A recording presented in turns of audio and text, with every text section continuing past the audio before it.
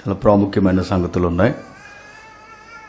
ఆలస్యం అనుకునక వాక్యంలోనికి దేవుని సహాయం కొరకు బయలుదేరడానికి చిన్న ప్రార్థన చేసుకుందాం. దయచేసి తల్ల వంచండి. పరలోకమందున మా తండ్రి దేవా మిమ్మల్ని ఆరాధించడానికి మీరు ఏర్పాటు చేసిన మార్గము ఉన్నతమైనది. పాపులుగా మీ ఎదుట నిలవదగడానికి తండ్రి అర్హత లేని మమ్మను తండ్రి. మీతో సంధి చేయడానికి సుమారు వేల సంవత్సరాల క్రితం తండ్రి మీ కుమారుని యొక్క యజ్ఞ యాగమును జరిగించి ఆయన జననం మొదలుకొని తండ్రి ఆయన జీవిత సరళి ఆయన మరణ పునరుద్ధాన వరకు తండ్రి మా కొరకు చేసిన ఈ త్యాగ ఫలం మేము మరవలేనిది. దేవా మరొక్కసారి ఆయన మొదటి రాకుల్లో జరిగిన తండ్రి అనేకమైన తండ్రి త్యాగాలతో కూడిన కార్యములు మేము జ్ఞాపకం చేసుకోవడానికి ప్రయత్నం చేయించుండగా మా మా మా మనసులను తెరవండి మా హృదయాల్లో తండ్రి మీ వాక్యమును భద్రం చేయండి. ఆయన భూమి మీదకి రాక తండ్రి ఎలాంటి త్యాగపూరితమైన తండ్రి నిర్ణయాలతో జరిగిందో జ్ఞాపకం చేసుకోవడానికి సంఘానికి మెలకువనిస్తారని కోరుతూ ఎవరైతే తండ్రి రాకను అర్థం చేసుకోలేక అపార్థం చేసుకుంటున్నారో. వారి హృదయాలు కొరత తేడుస్తారని అర్థిస్తూ క్రీస్తు నా క్రీస్తు నామని ప్రార్థన సమర్పిస్తున్నాము తండ్రి. అమ్మాయి జాగ్రత్తగా వినండి. చాలా ప్రాముఖ్యమైన సంగతులు ఉన్నాయి. అలానే సుదీర్ఘమైన సుదీర్ఘంగా చెప్పే ప్రయత్నం కాదు. ఒక సింపుల్ మెసేజ్ మనం నేర్చుకుందాం. ఈరోజు ఏవైతే ఈ క్రిస్మస్ దినాలు ఉన్నావో యేసుక్రీస్తుని ఆరాధన పేరుతో ఏదైతే సంఘం లేనిపోని కార్యాల వైపు మొగ్గు చూపుతుందో చర్చ్ అటెన్షన్ ప్లే చేయవలసిన ఒక ఈవెంట్ జరిగింది. దాని గురించి మనందరికీ తెలియాలి. కాకపోతే విడ్డూరం ఏంటంటే యేసుక్రీస్తు యొక్క రాకను అనేకమైన విరోధులు రకరకాలుగా యాలం చేస్తున్నారు. కూతురిని కనకండి ఎవరు? అన్నయ్య కూతురేనా? అడిగలేక బాగా కొంచెం. సరే. జాగ్రత్తగా వినండి. ఎంత ప్రాముఖ్యమైన సంగతులు అంటే బయట ఉన్నవారు ఎలా ఎద్దేవ చేస్తున్నారో మొదటి రాకను గురించి మనం ధ్యానించాం గతించిన తరగతిలో. బయట ఉన్నవారు ఎద్దేవ చేస్తున్నది ఒకటైతే బయట ఉన్న వారికి ఆన్సర్ చెప్పలేక యేసుక్రీస్తు యొక్క మొదటి రాకపు రాకకు సంబంధించిన త్యాగపూరితమైన కార్యక్రమాలు చెప్పడంలో తప్పటడుగులు వేసేస్తున్నారు కొన్ని డినామినేషన్స్ అందుకే క్రిస్మస్ అనేది ఏంటో మనం మొదటి నుండి మనం ధ్యానిస్తున్నాం. క్రిస్మస్ అనే అర్థం కూడా పండితులు ఇచ్చిన అర్థం కానీ సుపరిచితమైన అర్థం కానీ మనకు తెలుసు. క్రిస్మస్ అంటే యేసుక్రీస్తు వారిని ఆరాధించడం. అనుకూలమైన డిక్షనరీలు మానేసి ఆరోగ్యకరమైన అర్థాలతో ఆలోచించడం చాలా ప్రాముఖ్యమైనది. చాలామంది ఏమంటున్నారంటే కొన్ని డినామినేషన్లు ఆరోగ్యంగానే స్టార్ట్ అయ్యాయి. అమెరికాలో స్టార్ట్ అయిన ఒక సంఘం రాను రాను సార్వత్రికంగా వ్యాపించి పేరు కొరకే కొట్టేసుకుని చనిపోయే ఒక గుంపు మోక మేము క్రిస్మస్ చేయమండి అని చెప్తారు. వారే వాక్యం తెలిసినట్లుగా వారికి మాత్రమే వాక్యం అర్థమైనట్లుగా ప్రపంచంలో మేము తప్ప బైబిల్ని ఎవ్వరూ పాటించట్లేదన్న స్వనీతి గర్వంతో వారు మాట్లాడుతున్న మాటలు చూస్తే నాకు అర్థమవుద్ది. క్రిస్మస్ చేయమన్న మాటల్లో ఏముందో గత వారం మీకు చెప్పాను. మేము క్రీస్తుని ఆరాధించమని చెబుతున్నారు మీరు. మేము యేసుక్రీస్తు వారిని ఆరాధించం అని చెప్తున్నారు. ఓకే టూకీగా ఆలోచిద్దాం. క్రిస్మస్ చైరు మిగిలిన భోగోతాలన్నీ మాత్రం చేస్తారు. ఏ ఎన్ని చేయరు చెప్పండి? మాట్లాడడం మొదలు పెడితే నరాలు తెగిపోవాలి వీళ్ళందరికీ. అంటారు మనం అనడం మొదలు పెడితే అది కాదయ్యని మరల వెనక నుంచి అంటారు. ఆరోగ్యకరమైన వర్తమానం సంఘానికి అందించడం ఇంకెప్పుడుకి వస్తుంది మీకు నాకు అర్థం కాదు. ఇంకెప్పుడుకి అర్థమవుద్ది? ఆన్సర్ తెలుస్తుంది కదండి. గొప్ప సంగతి కాదు. ఆన్సర్ని ఎలా ప్రజెంటేషన్ ఇవ్వాలో చాలా ప్రాముఖ్యమైనది. నాకు తెలిసి ఆ గిఫ్ట్ అందరికి దొరకదేమో. నిజమే. ఒక రోగి ఉన్నాడు అనుకోండి ఆ రోగికి వైద్యం చేయాలి.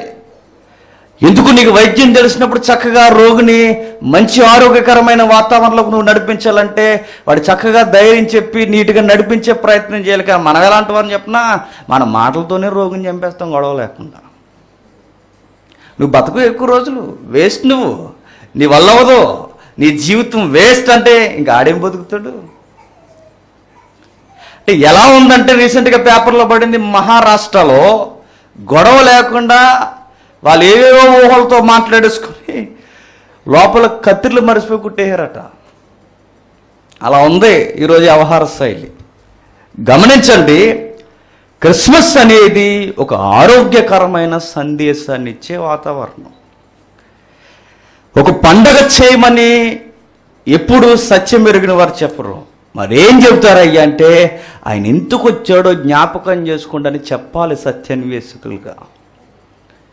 ఏమి నేర్చుకోవాలయ్యా సంఘం అంటే మీరు గుర్తుపెట్టుకోండి సంఘం నేర్చుకోవాల్సింది నేర్చుకోవాల్సిన విషయం నేర్చుకోలేదు ఈవెంట్లో నేర్చుకుంది కనుక ఆ ఈవెంట్ని ఎవరైతే ఖండిస్తున్నారో మేము కూడా చర్చే అని చెప్పుకుంటున్న వారు కూడా గమనించవలసింది ఏంటంటే మనం చేయాల్సింది ఏది రైటో చెప్పాలి ఏది రాంగో చెప్పాలి.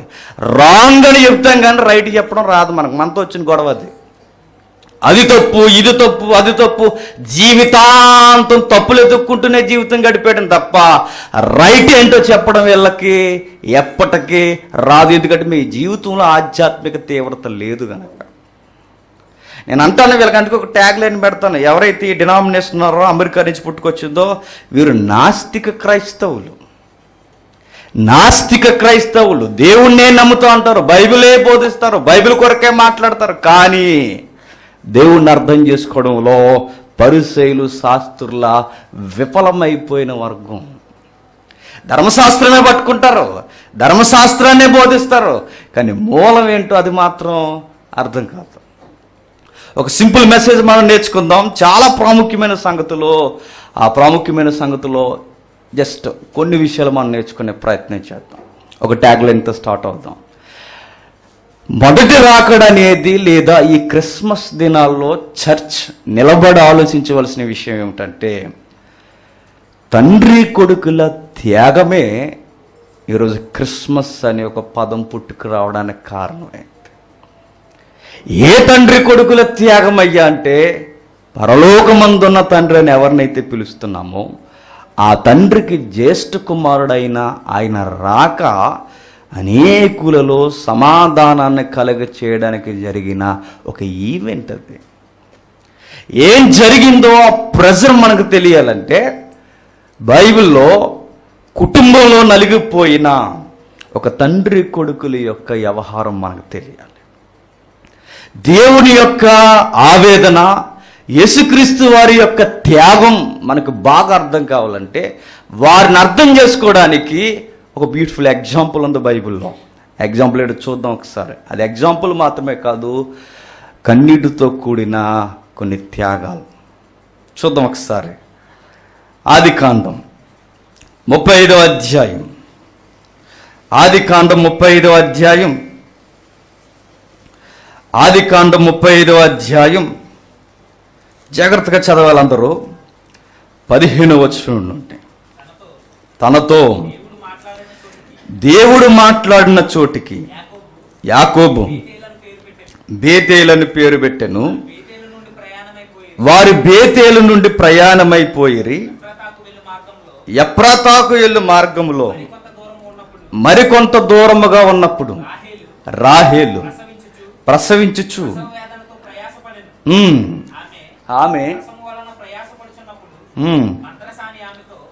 మంత్రస్సాని ఆమెతో భయపడకు. నీకు ఇదియు నీకు కుమారుడగడని చెప్పాను.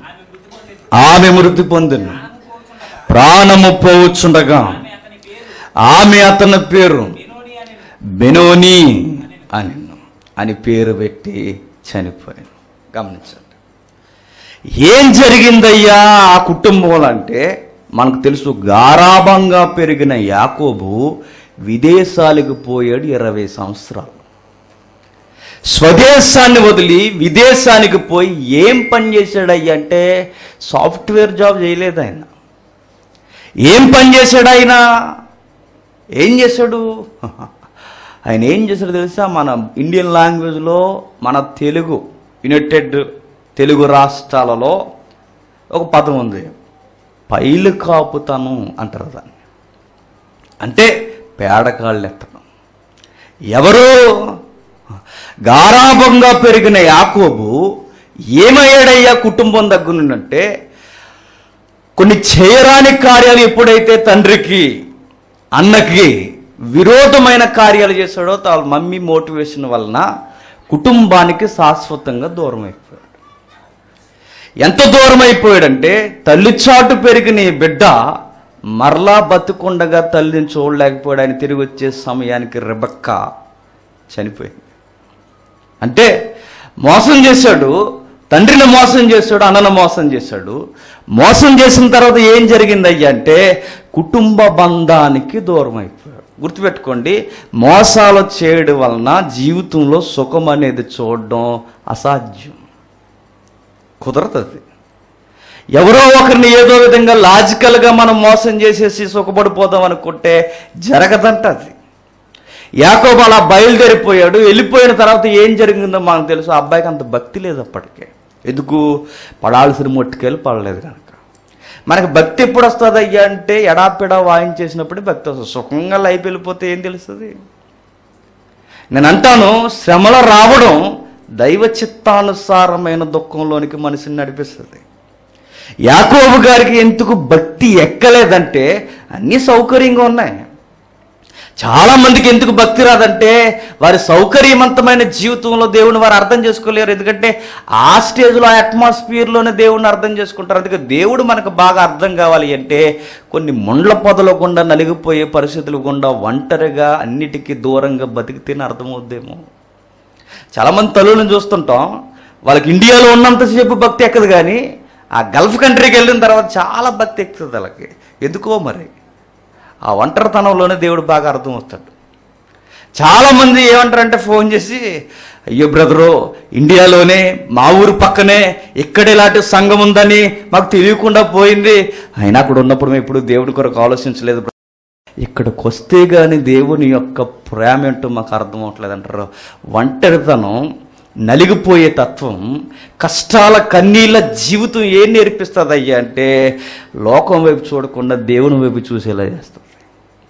యాకోబుకి ఎక్స్పీరియన్స్ వచ్చింది. దూరం అయిపోయాడు కుటుంబానికి తండ్రికి తల్లికి అన్నలకి అన్నకి దూరం అయిపోయాడు.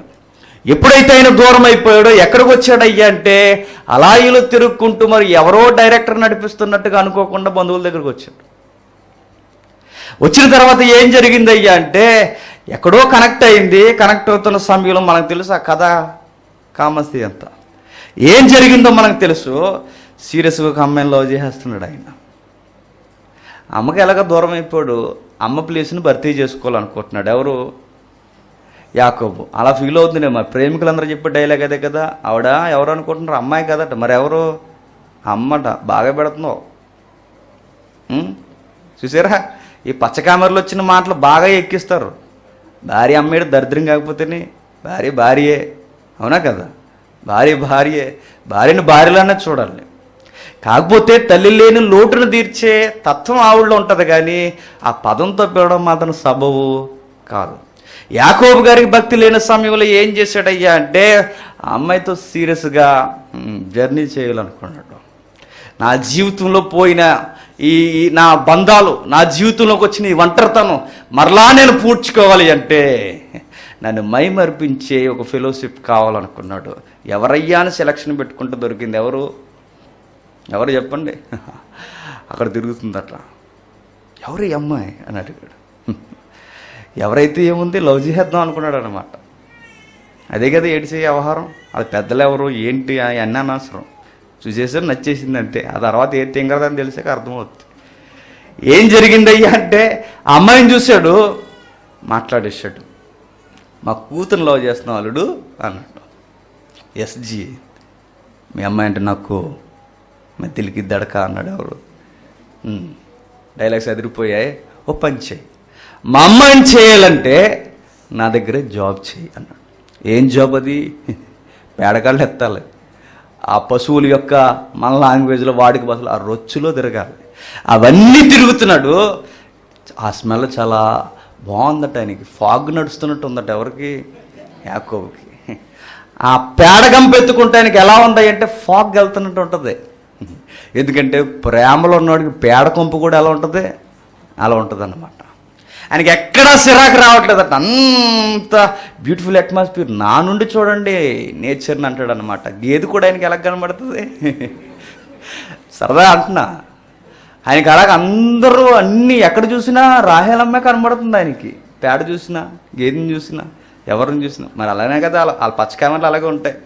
ఎక్కడ చూసినా పొడవకుండవని చూసినా పొట్టుకున్నదాన్ని చూసినా ఎక్కడ చూసినా వాళ్ళ వాళ్ళకి అలా కనబడుతూ ఉంటారట. అలా చూసుకుంటూ బతికేస్తున్నాడు. ఎన్నో సంవత్సరాలు చేసేసాడు. కానీ జరగకూడని ఘోరం జరిగిపోయింది. ఏమిటా ఘోరం మనకు తెలుసు? ఆయన మోసాలు చేస్తే ఆ మోసాలకి మోసం చేసి మరొక మోసగాడు ఉన్నాడు సూపర్ స్టార్ కృష్ణ కాదు ఎవరు? లాభం అల్లుడు త్వరలోనే నీ పెళ్ళి చేయబోతున్నావు అనుకున్నాడు అన్నమాట. ఎవరు? ఈ రోజు కొరకు నేను ఎదురు చూస్తున్నాను ఎన్నాళ్ళు ఈ ఒంటరి జీవితం? ఆ గేదెలతో పడలేకపోతున్నాను ఆ పశువులతో తిరలేకపోతున్నాను ఎప్పుడు వస్తుంది? ఆ మెరుపు తీగ అని అడిగాడు. త్వరలోనే వెళ్ళడు మెరుపు అదిరిపోద్ది అన్నాడు. అవునా జీ? ఎస్. నీకు పని నీకు విషయం చెప్పనా? నీ పెళ్ళి లైఫ్లో గుర్తుండిపోద్దలుడు అల్లుడు అన్నాడు. Why G? అన్నాడు. వై ఏంది? చెప్తాను విను. నీ పెళ్ళికి లైటింగ్ ఉండదు అల్లుడు అన్నాడు. ఎందుకు మామాజీ అంటే గుర్తుపెట్టుకో కిక్ ఉండాలి కదా అన్నాడు అన్నమాట. మా మామ నా పెళ్ళిని చాలా డిఫరెంట్గా ఆలోచిస్తున్నాడు.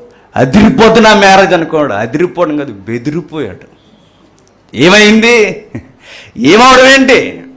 చెల్లిని చేయిపోయి చేయిపోయి కాదు చెల్లిని చేయకుండా అక్కని చేసేసారు జరగాల్సిన నష్టం జరిగిపోయింది. ఆ రోజే అర్థమైంది మా మామ నాకన్నా మోసకట ఎప్పుడైతే ఆ విషయం అర్థమైందో దెబ్బల మీద దెబ్బలు దెబ్బల మీద దెబ్బలు దెబ్బల మీద దెబ్బలు తగులుతున్నప్పుడు మరలా మామాజీ ఆఫర్ ఇచ్చాడు.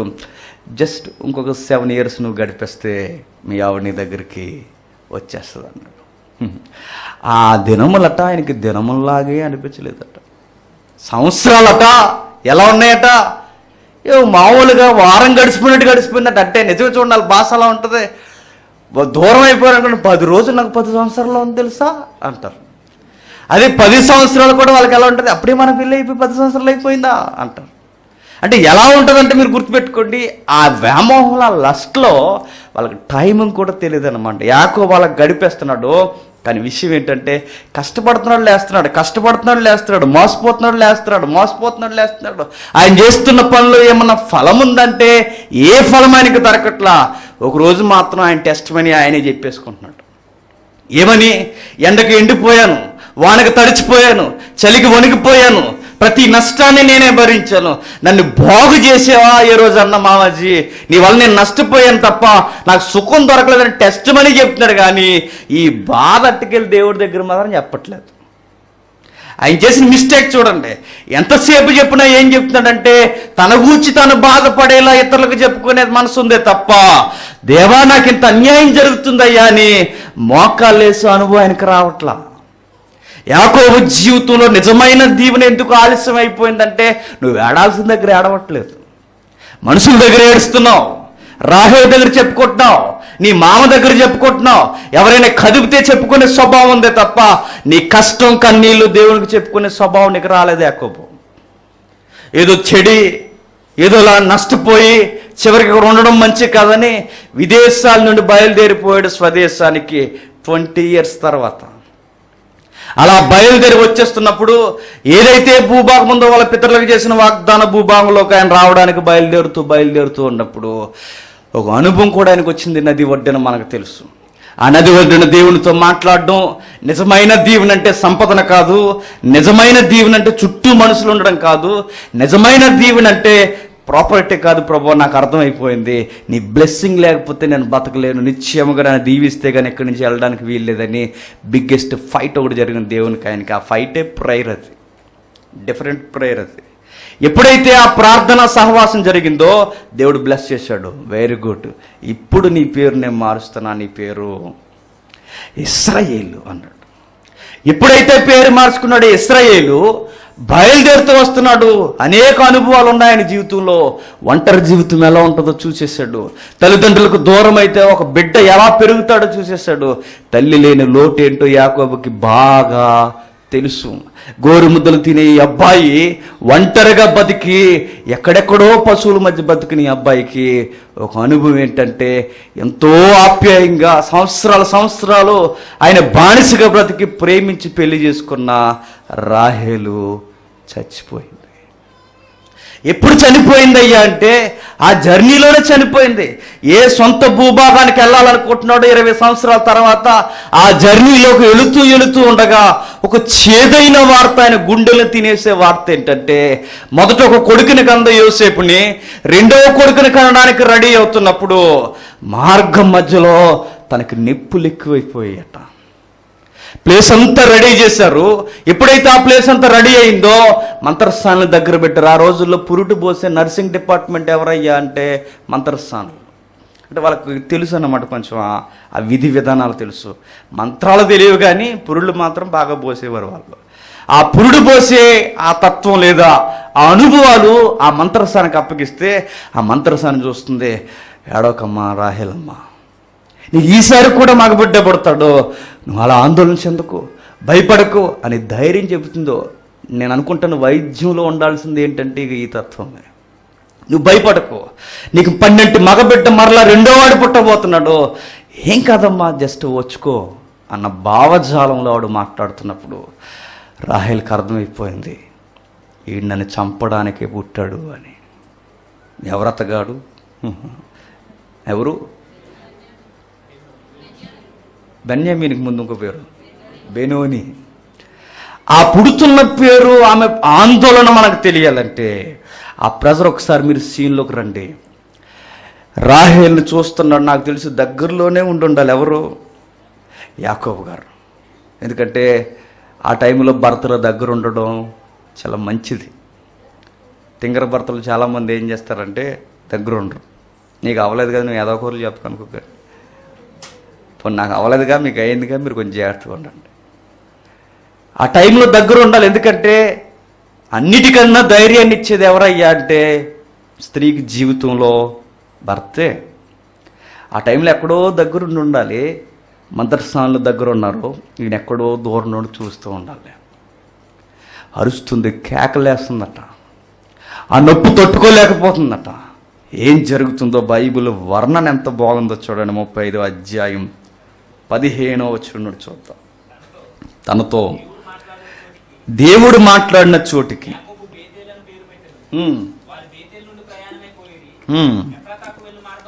ఎఫ్రతాకు ఎల్లు మార్గములో. కొంత దూరం ఉన్నప్పుడు మరికొంత దూరము ఉన్నప్పుడు రాహేలు ప్రసవించుచు ప్రసవ వేదనతో ప్రయాసపడి ప్రయాసపడెను. ప్రసవించుచు ప్రసవ వేదనతో ప్రయాసపడినంటే అంటే ఏం జరుగుతుంది? బిడ్డ రావడంలో ఏదో ఇబ్బంది జరుగుతుందని అర్థమవుతుంది చూడండి.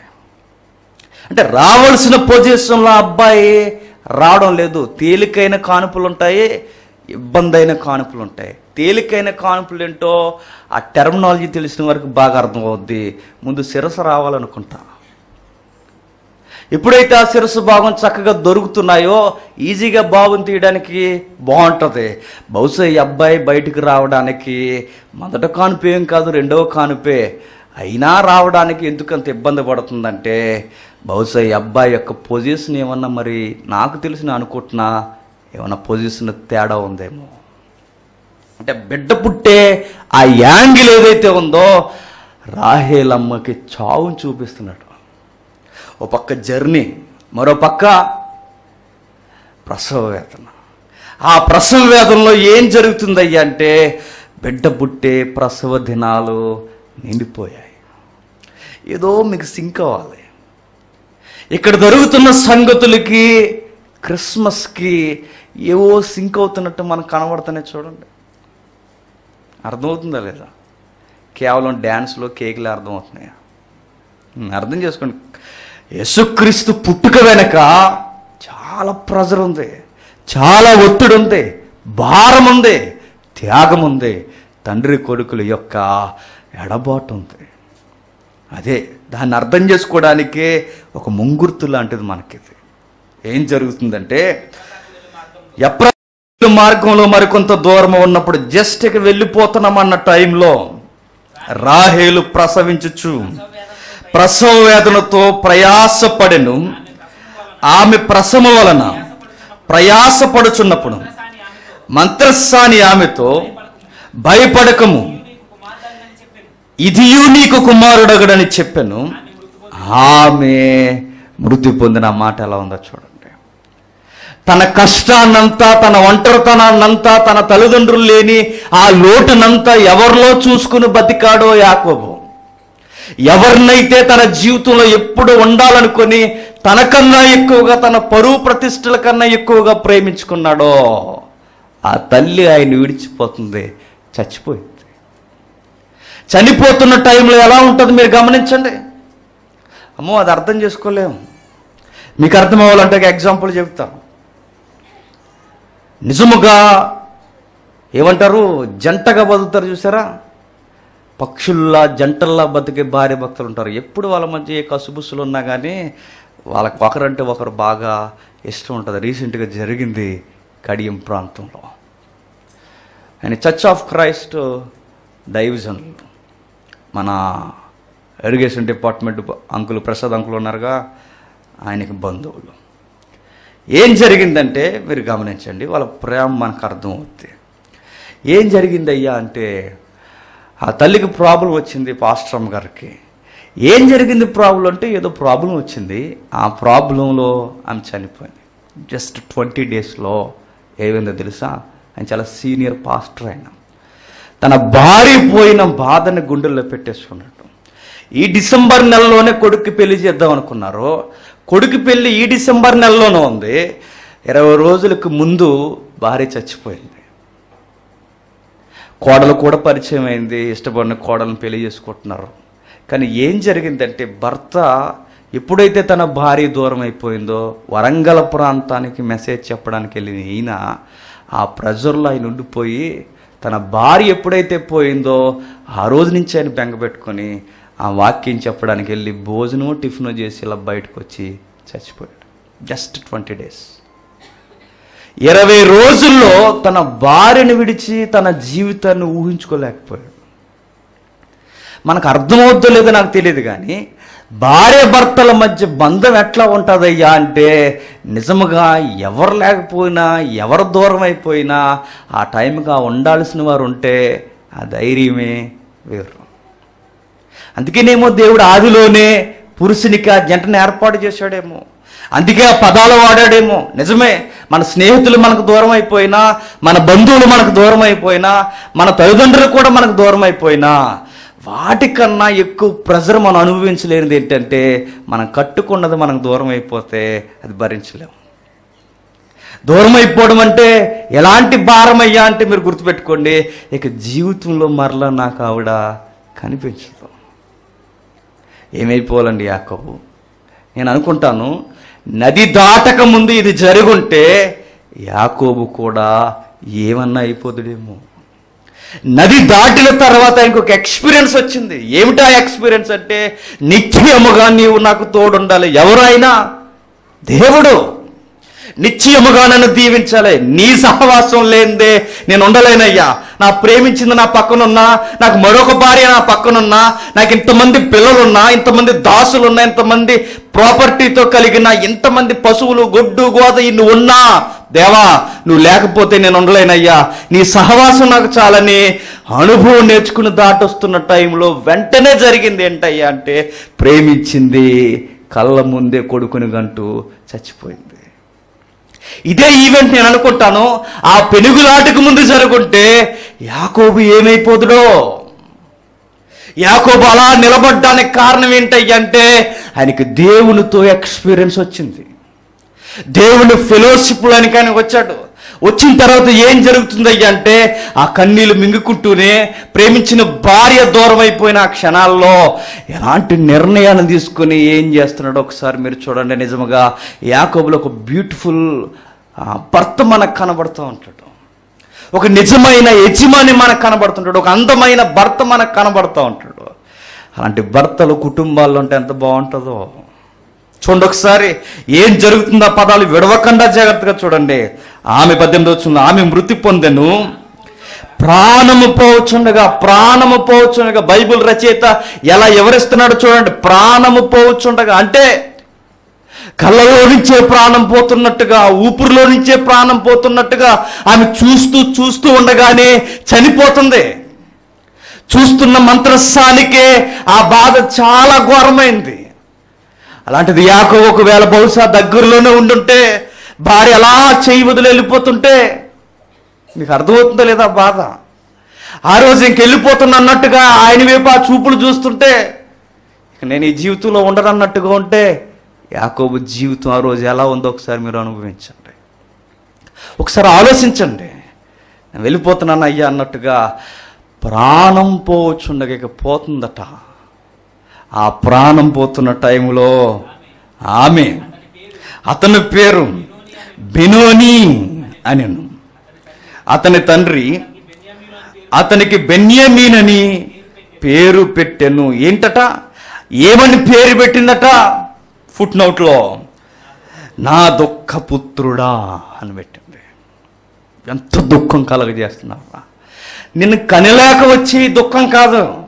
నాకు నిజమైన దుఃఖం ఏంటంటే నన్ను ప్రాణానికి ప్రాణంగా ప్రేమిస్తున్న నా భర్తకు దూరం చేసి దుఃఖం కలగజేస్తున్నావు అని అర్థం కూడా దాగుంది ఆ పేరులో. ఎంత దుఃఖం. నేను కనలేక బాధపడ్డం కాదు ఈ బాధ కన్నా ఎక్కువ ఏంటంటే నన్ను అన్ని విధాలుగా దుఃఖంలోనికి నన్ను గెంటేశావు అన్నాడు. ఆయన అంటూ కొడుకు పేరు పెట్టుకుందంటే ఏమని పేరు పెట్టిందంటే దుఃఖపుత్రుడు. బెనోని అని పేరు పెట్టింది. దుఃఖపుత్రుడా అనేసి చనిపోయిందండి. ఈ సీన్ అంతా కళ్ళ ముందు జరుగుతున్నప్పుడు యాకోబుకి ఎలా ఉండాలి? యాకోబుకి ఎలా ఉండాలి? ఆ పుట్టిన బిడ్డ మీద ఎలాంటి చూపు చూడాలి యాకోబు? నిజానికి మనకి అలా జరుగుంటే మన భార్య మన కనిన బిడ్డ వల్లే చనిపోతే ఆ బిడ్డను చూసినప్పుడల్లా మనకు వచ్చే కోపం ఏంటో చెప్పినా? ఏమైనా చేస్తే ఆడ ఆ టైంకి? ఏదైనా జరిగితే రేయ్ నీ వల్లరా చచ్చిపోయింది? నీ వల్ల చనిపోయింది? కేవలం నీ వల్ల చనిపోయింది. నువ్వు పుట్టి దాన్ని దూరం చేసావు. నువ్వు పుట్టి నన్ను బతుకుండగానే చంపేస్తున్నావు. ఆ పిల్లగాడు ఎదుగుతున్నప్పుడల్లా ఆ పేరు వినబడుతున్నప్పుడు మీరు గుర్తుపెట్టుకోండి సొసైటీ కూడా ఏం పిలుస్తుంది చెప్పినా? మన ఇండియన్ లాంగ్వేజ్లో అయితే ఈడు ఒక నష్టజాతకుడు అండి ఈడు ఒక దరిద్రుడండి. ఈడు పుట్టుకతోనే ఏం చేశాడంటే వాళ్ళ తల్లిని చంపేసుకున్నాడు. రక్తపు మడుగులో ఇంకా బిడ్డ అలా ఉండగానే మంత్రసాన్ని ఎలా తీసుకొచ్చి బిడ్డ పుట్టాడన్న ఆనందం ఇంకా కళ్ళల్లో రాకమునిపే అన్న వార్త ఏంటంటే యాకోబు బిడ్డ అయితే పుట్టింది కానీ నీ ప్రాణానికి ప్రాణమైన రాహేలు చచ్చిపోయింది. బిడ్డను చూసి ఆనందించాలా? ప్రేమ దూరం అయిపోయిందని ఆయన కృంగిపోవాలా? ఈ రెండిటి నడుమ యాకోబు యొక్క యాటిట్యూడ్ మీరు చూడండి. ఎందుకు అలాంటి బలమైన మనిషిగా యాకోబు తయారయ్యాడంటే ఆయన జీవితంలో ఒక బ్యూటిఫుల్ ఈవెంట్ ఏంటంటే మనకు తెలుసు ఆ నది ఒడ్డిన పెనుగులాట. దేవుణ్ణి బాగా అర్థం చేసుకున్నాడు. తన బలం ఎరగొట్టబడింది. తన స్వనీతి నలగొట్టబడింది. తన మోసాల తత్వం దూరం చేయబడింది. ఆయనకు ఒక విషయం అర్థమైంది ఏడుస్తూ అయోష్య ఓష్య గ్రంథంలో చెబుతాడు ఏడుస్తూ అర్థం చేసుకున్నది ఏంటంటే దేవా నువ్వు లేకపోతే నేను బతకలేనయ్యా అన్నాడు. నా చుట్టూ ఇన్ని ఉన్నా ఇన్ని మందలున్నా ఇంతమంది మనుషులున్నా నువ్వు లేకపోతే అసలు బ్లెస్సింగే కాదయ్యా అది అన్నాడు. అలాంటి ఎక్స్పీరియన్స్తో కుంటుకుంటూ కుంటుకుంటూ నడుస్తున్నప్పుడు మరొక రోదన ఏంటంటే భార్య చచ్చిపోయింది. ఆ టైంలో చూడండి నామకరణం చేస్తున్నాడు ఎవరు? అసలు ఆ టైంలో నామకరణం చేసుకునే రోజే అది. ఎవడైనా ఆ టైంలో బిడ్డలకు పేర్లు మార్చుకుంటారు చెప్పండి ఆ టైంలో. ఆ టైంలో పేర్లు మార్చుకునే ఆ మనసు మనకు వస్తుంది. అసలు ఆ బిడ్డంకే చూడాలనిపిస్తుందా? కానీ యాకోబు గారు చూడండి ఏమని పేరు పెడుతున్నాడయ్యా అంటే అతని తండ్రి. అతనికి బెన్యామీనని పేరు పెట్టిన ఏమని పేరు పెడుతున్నాడట? బెన్యామీన్ అని పేరు పెడుతున్నాడట. బెన్యామీన్ అనగానే ఫుట్ నోట్ ఇచ్చాడు చూడండి. కుడి చేతి పుత్రుడు. ఏంటట? కుడి చేతి పుత్రుడు. ఆమెను పేరు ఏమని పేరు పెట్టింది? ఏమని పేరు పెట్టింది? బెనోని అని పేరు పెట్టింది. అంటే దుఃఖపుత్రుడు అని పేరు పెట్టింది. యాకోబు ఏమని పేరు పెడుతున్నాడంటే ఆ బిడ్డ యొక్క భవిష్యత్తును చూసి పేరు పెడుతున్నాడు. రే తల్లి లేకపోతే ఎలా ఉంటుందో నాకు తెలుసు. ఒంటరి జీవితంలో పెరిగితే సొసైటీ ఎలా చూస్తుందో నాకు తెలుసురా. నేను ఎలాగూ సుఖానికి లోచుకోలేకపోయాను. నేను ఎలాగూ నా పేరు చేత సరిగ్గా పిలవబడలేకపోయినా. నన్ను మోసగాడు మోసగాడు అని పిలిచేవారు. నా పేరులోని నాకు ఆనందం దొరకలేదు. నా బ్రతుకులోని నాకు సహవాసం సరైన సహవాసం దొరికేంతలోపే అదుగో ఇదిగో జీవితం వెళ్తున్న టైంలో మీ అమ్మ చనిపోయింది. ఆ బిడ్డను చూస్తూ బహుశా మనసులో అనుకున్నాడేమో అనుకుని నేను అనుకుంటే చెప్తున్న మాట ఆ బిడ్డ యొక్క భవిష్యత్తును ఆలోచించి ఆయన పెట్టుకున్న పేరేంటో చెప్పినా? నువ్వు దుఃఖపుత్రుడు వేట్రా మీ అమ్మ ఎలాగో చనిపోయింది. నువ్వు బతికుండగా ఈ సొసైటీలో చనిపోవడానికి వీల్లేదు. నీకు నేను పేరు పెడతా. నువ్వెవరో తెలుసా? నా కుడి చేతి పుత్రుడివి అన్నాడు. ఇంగ్లీష్ బైబిల్లో ఒక మంచి పదం వాడారు. I am right handed son అంటారు. రైట్ హ్యాండ్ అని పేరు పెట్టుకున్నాడట.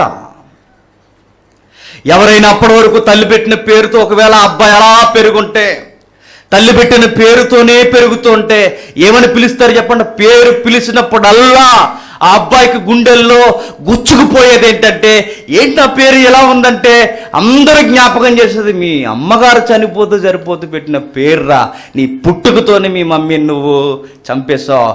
నీది ఒక జీవితం అన్నట్టుగా వారి చూపులు వారి మాటలే ఆ అబ్బాయిని పొడి చేస్తాయి. అదంతా ఆలోచించాడు. ఎవడు నా కొడుకుని ఇలా బతుకుండగా చంపేసే మాటలతో పిలిచే ఆ పేరు వద్దని భార్య పెట్టుకుందే ఆ ప్రేమకు గుర్తుగా ఈ పేరు ఉంచాలని కూడా అనుకోకుండా ఏం చేశాడు తెలుసా? వీడు ఎలా ఉండాలంటే వీడి కుడి చేతిలో ఉండాలి. వాళ్ళ పేర్లు పెట్టడం అంటే కేవలం సెలక్షన్ చేసుకుని పెట్టడమే కాదు వాళ్ళ పేర్లు నెరవేర్పులు కూడా చేసిన జీవితాలు ఎవరు అయ్యాయి అంటే ఇస్రాయేలీలు. మన పేరు ఒకటి జీవితం ఒకటి. వాళ్ళు అలా కాదు వారి పేరు ఏదైతే పెట్టుకున్నారో ఆ పేరుకి తగినట్టిన జీవన శైలి వాళ్ళ లైఫ్లో మనం చూస్తుంటాం వారి జీవితంలో మనం చూస్తుంటాం. మనకు కనబడుతుంది ఖచ్చితంగా. యాకో పేరు పెడుతున్నాడట ఏమని చూడండి ఒకసారి. తన తండ్రి. అతనికి బెన్యామీన్ అని పేరు పెట్టి. అట్లు రాహేలు మృతి పొంది బెత్లెహేమును హ్మ్. ఎఫ్రాతా మార్గంలో పాతిపెట్టబడింది హ్మ్. యాకోబు ఆమె సమాధి మీద యాకోబు ఆమె సమాధి మీద ఒక స్తంభము కట్టించను. అది నేటి వరకు రాహేలు సమాధి రాహేలు సమాధి స్తంభము. ఏంటట? ఒక గుర్తు పెట్టుకున్నాడట. ఏమని గుర్తు పెట్టుకున్నాడయ్యా అంటే ఒక గుర్తు స్తంభం గుర్తు పెట్టుకున్నాడు. భార్య పెట్టిన పేరును మాత్రం గుర్తుగా ఉంచడానికి ఇష్టపడలేదు. ఎందుకు ఇష్టపడలేదంటే ఆ ఒంటరి జీవితం ఎలా ఉంటుందో నాకు బాగా తెలుసు. ఈ సమాజం ఎలా పిలుస్తుందో నాకు బాగా తెలుసు. వాడిని పిలిచినప్పుడల్లా నా కొడుకు ప్రౌడ్గా ఫీల్ అవ్వాలి. ఏమని పిలవాలంటే నా కొడుకుని ఎలా పిలవాలి? ఏమనంటే రైట్ హ్యాండెడ్ సన్ అని పిలవాలి. కుడి చేతి పుత్రుడా ఆ పేరు పిలుస్తున్నప్పుడల్లా ఆ అబ్బాయికి ఎలా ఉంటుంది చెప్పండి? Yes I am right handed son అని చెప్పుకోవచ్చు. అవును మీరు అన్నట్టుగానే మా అయ్యకి నేను కుడి చేతి లాంటి వాడిని. నిజంగానే అలా పెరిగాడా అంటే నిజంగానే అలా పెరిగాడు. ఎలా కుడి చేతిగా మారాడయ్యా అంటే కొంచెం ఫ్యామిలీ స్టోరీ మనకు అర్థం కావాలి. జాగ్రత్తగా వినండి. ఏం జరిగిందంటే ఒకరోజు ఇతను అన్నే ఒక అన్న ఉన్నాడు. ఎవరు? జోసఫ్ యూసెఫ్ గారు. ఆయన్ని ఏం చేశారయ్యా అంటే ఈ అన్నలందరూ కలిసి అసూయ పడిపోయారు దేనికి అసూయ అంటే అసూయ ఏమీ లేదు. దేవుడు ఆడితో మాట్లాడేస్తున్నాడు. ఎవరితో? అంతే ఇంక నచ్చరక ఈ లోకంతో ప్రమాదం ఏంటంటే దేవుడు మనతో ఎక్కువ మాట్లాడేసినా ప్రమాదమే. దేవుడు మాట్లాడడం అంటే మీరు గుర్తుపెట్టుకుంటే ఆకాశం నుంచి స్వరం వచ్చేస్తుందని కాదు. దేవుని మనసు మనకు అర్థమైంది. దేవుణ్ణి బాగా మనం అర్థం చేసుకుని మనం బాగా ప్రజెంటేషన్ ఇస్తుంటే జోసఫ్ని ఏం చేశారంటే ఈరోజు మనల్ని కూడా అదే చేస్తారు. కావాలంటే చూడండి మంచి విషయాలు మనం వివరించి మాట్లాడుతుంటే అసూయ పడిపోయారట ఆ రోజు. ఎవరు? అన్నలే. సొంత అన్నలే. విషయాన్ని బాగా ఎవరేస్తున్నారు అన్నలారా మీకు కళ నాకు కళ వచ్చింది. చెప్పమంటారంటే కళ వచ్చిందా? చెప్పు అన్నారంట. కళ ఏంటో చెప్పనా? మీరు అందరు నాకు దండం పెడుతున్నట్టు వచ్చింది అన్నారు. మరి నీ కళ నువ్వు? అన్నారు. ఎవరు? అన్నలే. ఇలాంటి ఎదవ కళలు కనుక ఎప్పుడు అన్నారు? అన్నా నేను కనాలని కనడం లేదు. నాకు వస్తున్నాయి అన్నాడు. మరలా కళ వచ్చింది. అనలారా నాకు మరలా కళ వచ్చింది. ఈసారి మనందరం సమానంగా ఉన్నాం అనుకున్నారేమో. ఇంకో విషయం చెప్పనా అన్న ఈసారి మమ్మీ డాడీ కూడా నాకే సలాం కొడుతున్నారు. రాయ్ అన్నారు. ఎస్ నిజమే అన్నారు. వీడి సంగతి చూడాలనుకున్నారట. వీడు ఎక్కువగా దేవుణ్ణి మాట్లాడుతున్నట్టుగా మాట్లాడేస్తున్నాడు. వీడి సంగతి ఏంటో చూడాలని తీసుకెళ్ళి బతుకుండగానే కొట్టేసి ఆ స్పృహలో ఆ గోతులో పాడేశారు. అబ్బాయి చనిపోయాడు అనుకున్నారు ఆ అబ్బాయి వల్ల చాలా బాధపడ్డాడు. ఎవరు? యాకోబు గారు. ఎంత బాధపడ్డాడంటే బ్రతికుండగా కూడా ఆయన మరణానికి పోతున్నప్పుడు కూడా ఆ మరణ దినంలో కూడా నా కొడుకు ఇంకా బతుకున్నాడని మరలా తెప్పరెళ్ళాను అన్న పదం ఉంటుంది. అంటే అంత లవ్ ఉంది. ఎందుకంటే తను ప్రేమించిన అమ్మాయికి మొదటి కొడుకు ఎవరయ్యా అంటే యోసేపు. ఏం చేశారయ్యా అంటే తీసుకెళ్ళి పడేశారు చనిపోయాడు అటుగా వెళుతున్న కొందరు వర్తకులు తీసుకెళ్ళి ఐగుప్తికి అమ్మేశారు. తెలిసిన జీవిత కథ కథనం. కథ అనకూడదు కదని కంగారు అయిపోకండి. కథకి కూడా అర్థాలు చాలా ఉన్నాయి. కల్పిత కథ వేరు కథ వేరు. కథకి కథ అనే పదం వాస్తవానికి కూడా వాడతారు. అర్థమవుతుందా? కంగారు అయిపోక. ఎందుకంటే విషయాన్ని మర్చిపోయి పనికిరాని అని పట్టుకుంటారు అందుకే ఎక్స్ప్లెనేషన్ అయితే ఎప్పుడైతే ఈ జీవన విధానాలు వెళ్ళలేయో ఆయన ఏమేయడం మనకు తెలుసు. దేవుని చేత యథార్థంగా ఉన్న అబ్బాయి దేవుని చేత దీవింపబడ్డాడు. అంటే ఆ రోజు నుంచి ఈ రోజుకి మీరు గుర్తుపెట్టుకోండి మన యథార్థత మనం పోగొట్టుకోకుండా ఉంటే నీకు సొంతానలే వ్యతిరేకమైపోయినా నీకు సొంత వారే నీకు వ్యతిరేకమైపోయినా సొసైటీ అంతా నీకు యాంటీ అయిపోయినా దేవుడు బ్లెస్సింగ్ నీకుంటే జైల్లో నుంచి వచ్చి నువ్వు ఎక్కడ కూర్చుంటావు అంటే సింహాసనం మీద కూర్చుంటావు. దానికి బ్యూటిఫుల్ ఎగ్జాంపుల్ ఎవరు? జోసఫ్. అంటే దేవుడు మనకు తోడుంటే చాలు. దేవునికి దో దేవుడు మనకు తోడుండాలంటే దేవుడికి నచ్చినట్టుగా మనం ఉండాలి. ఆయనకి ఇష్టం లేనిది ఏది మనం చేయకూడదు. వీలైతే అసలు పాపము అంటే ఏంటి అన్న దానికి డెఫినేషన్ ఒక క్లాస్ ఉంది. మనం అది నేర్చుకోవాలి. అసలు పాపాన్ని ఎలా కొలవాలి? పాపం అనడానికి కొలత ఏంటి? పాపం అంటే ఇది అనడానికి కొలత ఏంటి? ఆ కొలత ఏంటో మనకు అర్థమైతే ప్రతిదీ పాపంగానే మనకు కనబడుతుంది. ఇది పాపం అని చెబుతుందంటే నేను దేంతో కొలుస్తున్నాను పాపం అని ఏ తత్వంతో కొలుస్తున్నా తెలియాలి. అది యోసేపుకి తెలుసు ఆయన యోసేపుకి తెలుసు కనుకే దేవుని ఇమేజ్కి ఎక్కడ డ్యామేజ్ కలిగేలా నేను ఎప్పుడు తప్పు చేయలేనని నిష్ఠగా బతికితే అబ్బాయిని దేవుడు బ్లెస్ చేశాడు జైలు నుంచి వచ్చి సింహాసనమే కూర్చున్నాడు. ఒకరోజు అన్నలుంటున్న ప్రాంతం యాకోబు బ్రతుకుతున్న ప్రాంతంలో ఏం జరిగింది? కరువు వచ్చింది. ఎప్పుడైతే కరువు వచ్చిందో కరువు వచ్చిన తర్వాత తీసుకెళ్ళిపో ఎక్కడ ధాన్యగారాలు ఉన్నాయని సమాచారం అందితే కొడుకులు పంపబడ్డారు. ఎప్పుడైతే వాళ్ళు వస్తున్నారో ధాన్యాగారం అక్కడ దొరుకుతుంది. ఎందుకంటే అది రిచెస్ట్ కంట్రీ కనుక నిలవ చేస్తున్నట ధాన్యాగారాల్లో పన్ను కూడా ఎక్కువ వచ్చేది కనుక నిలవ చేశారు. మంచి ప్లానింగ్ కూడా ఇచ్చాడు ఎవరు? యూసేఫ్ గారు. జరగబోయే దాన్ని ముందే కలలు కంటాడు ఆయన. ఎవరు? యూసేఫ్ గారు. గమ్మత్తు ఏంటంటే అన్నిటి కొరకు కలలు కంటాడు కానీ ఆయనకి ఏం జరగబోతుందో మాత్రం కలగండు అది సంగతి. నిజమే. మనం అందరికీ దీవెనగా ఉంటాం కానీ మనకు మాత్రం ఏమవుద్ది? అలానే ఉంటుంది అనమాట యాక యోసేపు జీవితంలో ఏం జరుగుతుంది అయ్యా అంటే జరగబోయే దాన్ని చెప్పాడు ఇలా మనం ఆర్థిక మాన్యం దేశం యొక్క దళసరి ఆదాయం ఒక్కసారిగా పడిపోయినప్పుడు పబ్లిక్ అంత డిస్టర్బ్ అయిపోయి దేశం అతలాకుతలం అయిపోద్ది కనుక మార్కెట్లో కూడా ఎక్కడ ఏమాత్రం ప్రాబ్లమ్స్ రాకుండా మనం ఒక జమా చేయాలి ధాన్యాన్ని తీసుకురండి అని షేర్ మార్కెట్ కన్నా బాబులు ఆలోచించాడు ఎవరు? యాకోబ్ క్షమించండి యోసేఫ్ గారు. నిల్వ చేశాడు. ఆ నిల్వ ఉందన్న సంగతి ధాన్యాలు అక్కడ దొరుకుతున్నాయి. ఎక్కడ దొరకకపోయినా దగ్గరలోనే ఆఫ్రికా ఖండంలో ఉన్న ఐగుప్తిలో దొరుకుతున్నాయంటే ఇలా ఆసియా నుంచి బయలుదేరారు. ఎవరు? అన్నలు. వెళ్ళిన తర్వాత స్టోరీ మీకు తెలుసు. వెళ్ళిన తర్వాత ఏం జరిగింది అయ్యా అంటే సింహాసనం మీద కూర్చున్నాడు. జరుగుతుంది. రిక్వెస్ట్లు జరిగాయి. సరే మీకు ధాన్యం కావాలగా? ఆయన గుర్తుపెట్టాడు. ఎప్పుడు గుర్తుపెట్టుకోండి. గాయం చేసి మనం మర్చిపోతామేమో కానీ గాయం తగిలిన వాడు ఎవరి వలన గాయం తగిలిందో వాడు ఎప్పటికీ మర్చిపోడు. యోసేపు మర్చిపోలేదు ఎవరు మర్చిపోయారట? అన్నలు మర్చిపోయారట. ఎందుకు? గిల్లేసి గిల్లేసినోడికి బాధ ఉంటుంది గిల్లించుకున్నోడికిగా బాధ అంతా. ఆయనకి మాత్రం గుర్తుండిపోయింది. ఆయన గుర్తుండిపోతే వచ్చిన వెంటనే గుర్తుపెట్టుకున్నాడు. గుర్తుపెట్టుకొని వారి యొక్క సంగతి తేల్చాలి. వారి జీవితంలో ఉన్న గొరుకైన స్వభావాల్ని పోగొట్టాలనుకున్నాడు. ఎప్పుడైతే ఆ గొరుకైన స్వభావాలు పోగొట్టాలనుకున్నాడో సరే మీ ధాన్యాలలో మేమేం చేస్తామంటే మొత్తం ఫుల్ చేస్తాం. ఆ ధాన్యం ఫుల్ చేసిన తర్వాత మీరు జాగ్రత్తగా ఇంటికి వెళ్ళిపోండి. అయితే మీరు గమనించుకోండి. మీరు వెళ్ళిపోతున్నప్పుడు మాత్రం దారిలో గొడవలు పెట్టుకోకండి అని చెప్తాడు. ఎందుకు ఆ మాట చెప్పాడు? బ్యాచ్ అలాంటిలోనే ఆయనకు తెలుసు. మీకు ప్రాపర్టీ పెరిగితే ప్రాబ్లమ్స్ ఎక్కువ. నేను ముందే చెప్తున్నాను దారిలో గొడవలు పెట్టుకోకండి అని చెప్తాడు. వెళ్తున్నప్పుడు మాత్రం ఈ బస్తాలు జమ చేయబడుతున్నప్పుడు లేదా నింపబడుతున్నప్పుడు ఏదో జరిగింది అక్కడ మార్పుడి విధానం జరుగుతున్నప్పుడు ఒక సజెషన్ ఇచ్చాడు. తనతో ఉన్న అధికారికి. ఎవరు? యోసేపు గారు. ఏం చేస్తావంటే చిన్నోడు ఒకడు ఉంటాడు అందులో సెకండ్ ఈవెంట్లో చిన్నోడు పేరు ఏం పేరు? పుట్టుకుతోనే తల్లిని బాగొట్టుకున్న బెన్యామిన్.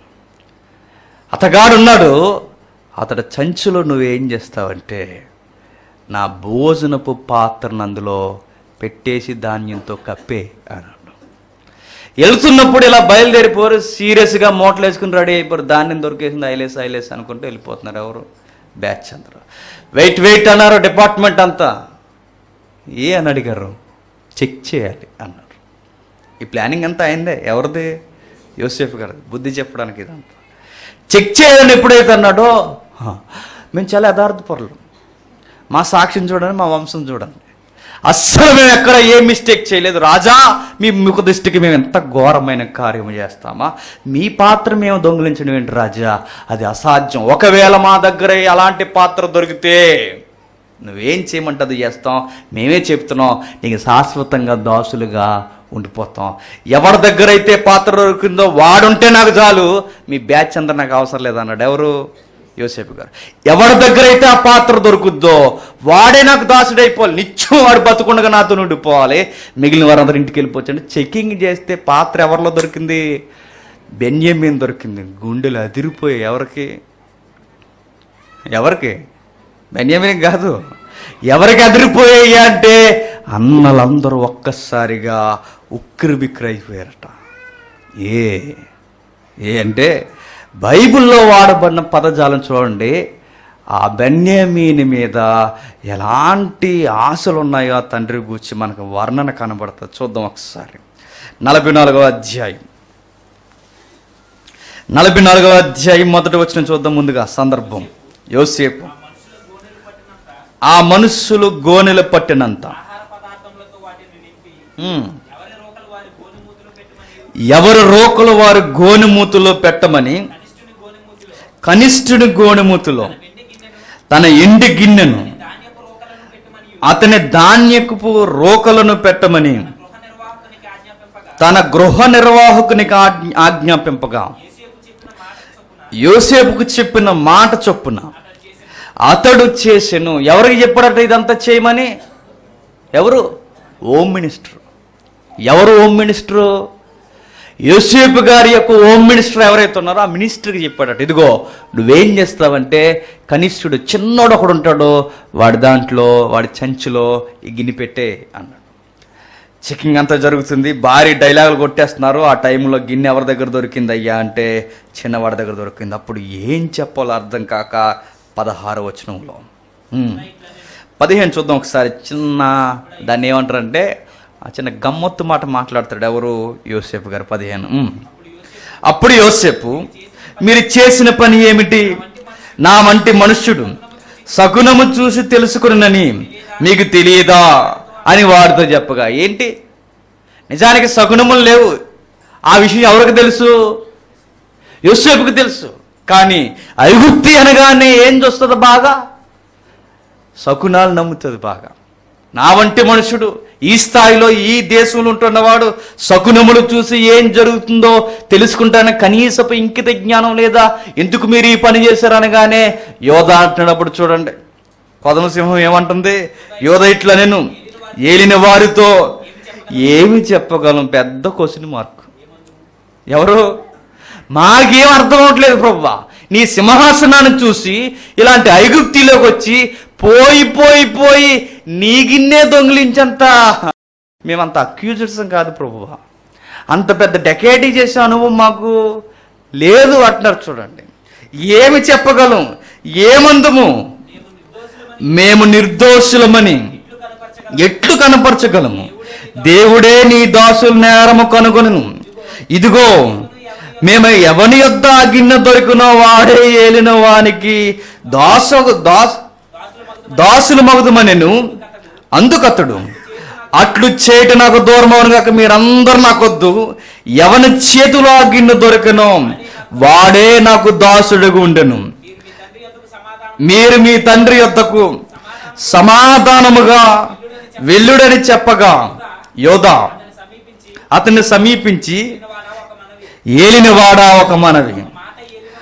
ఒక మాట ఏలిన వాడితో దాసుని తన్ను దాసుని చెప్పుకొని నిమ్ము. తమ కోపము తన దాసుని మీద రగులుకొన నీకము. తాము పరో అంతటి వారు కదా ఏలినవాడు. నీకు తండ్రి అయినను సహోదరుడైన ఉన్నాడని తమ దాసుని అడిగినే అందుకు మేము మాకు ముసలవాడైనా తండ్రియు అతనికి ముసలతనమును పుట్టిన ఒక చిన్నవాడు ఉన్నారు. వాడు సహో వాని సహోదరుడు చనిపోని. ఎవరా సహోదరుడు? యోసేపుతోనే చెప్తున్నారు ఏమని? చనిపోయినట్ట ఆ రోజు ఏమనుకుని ఉంటాడండి యోసేపు? దొంగల్లారా. చచ్చిపోయినని చెబుతున్నారా అందరికీ చంపేసినని చెప్పక. ఎలా ఫేమ్ కవర్ చేస్తున్నారు చూడండి.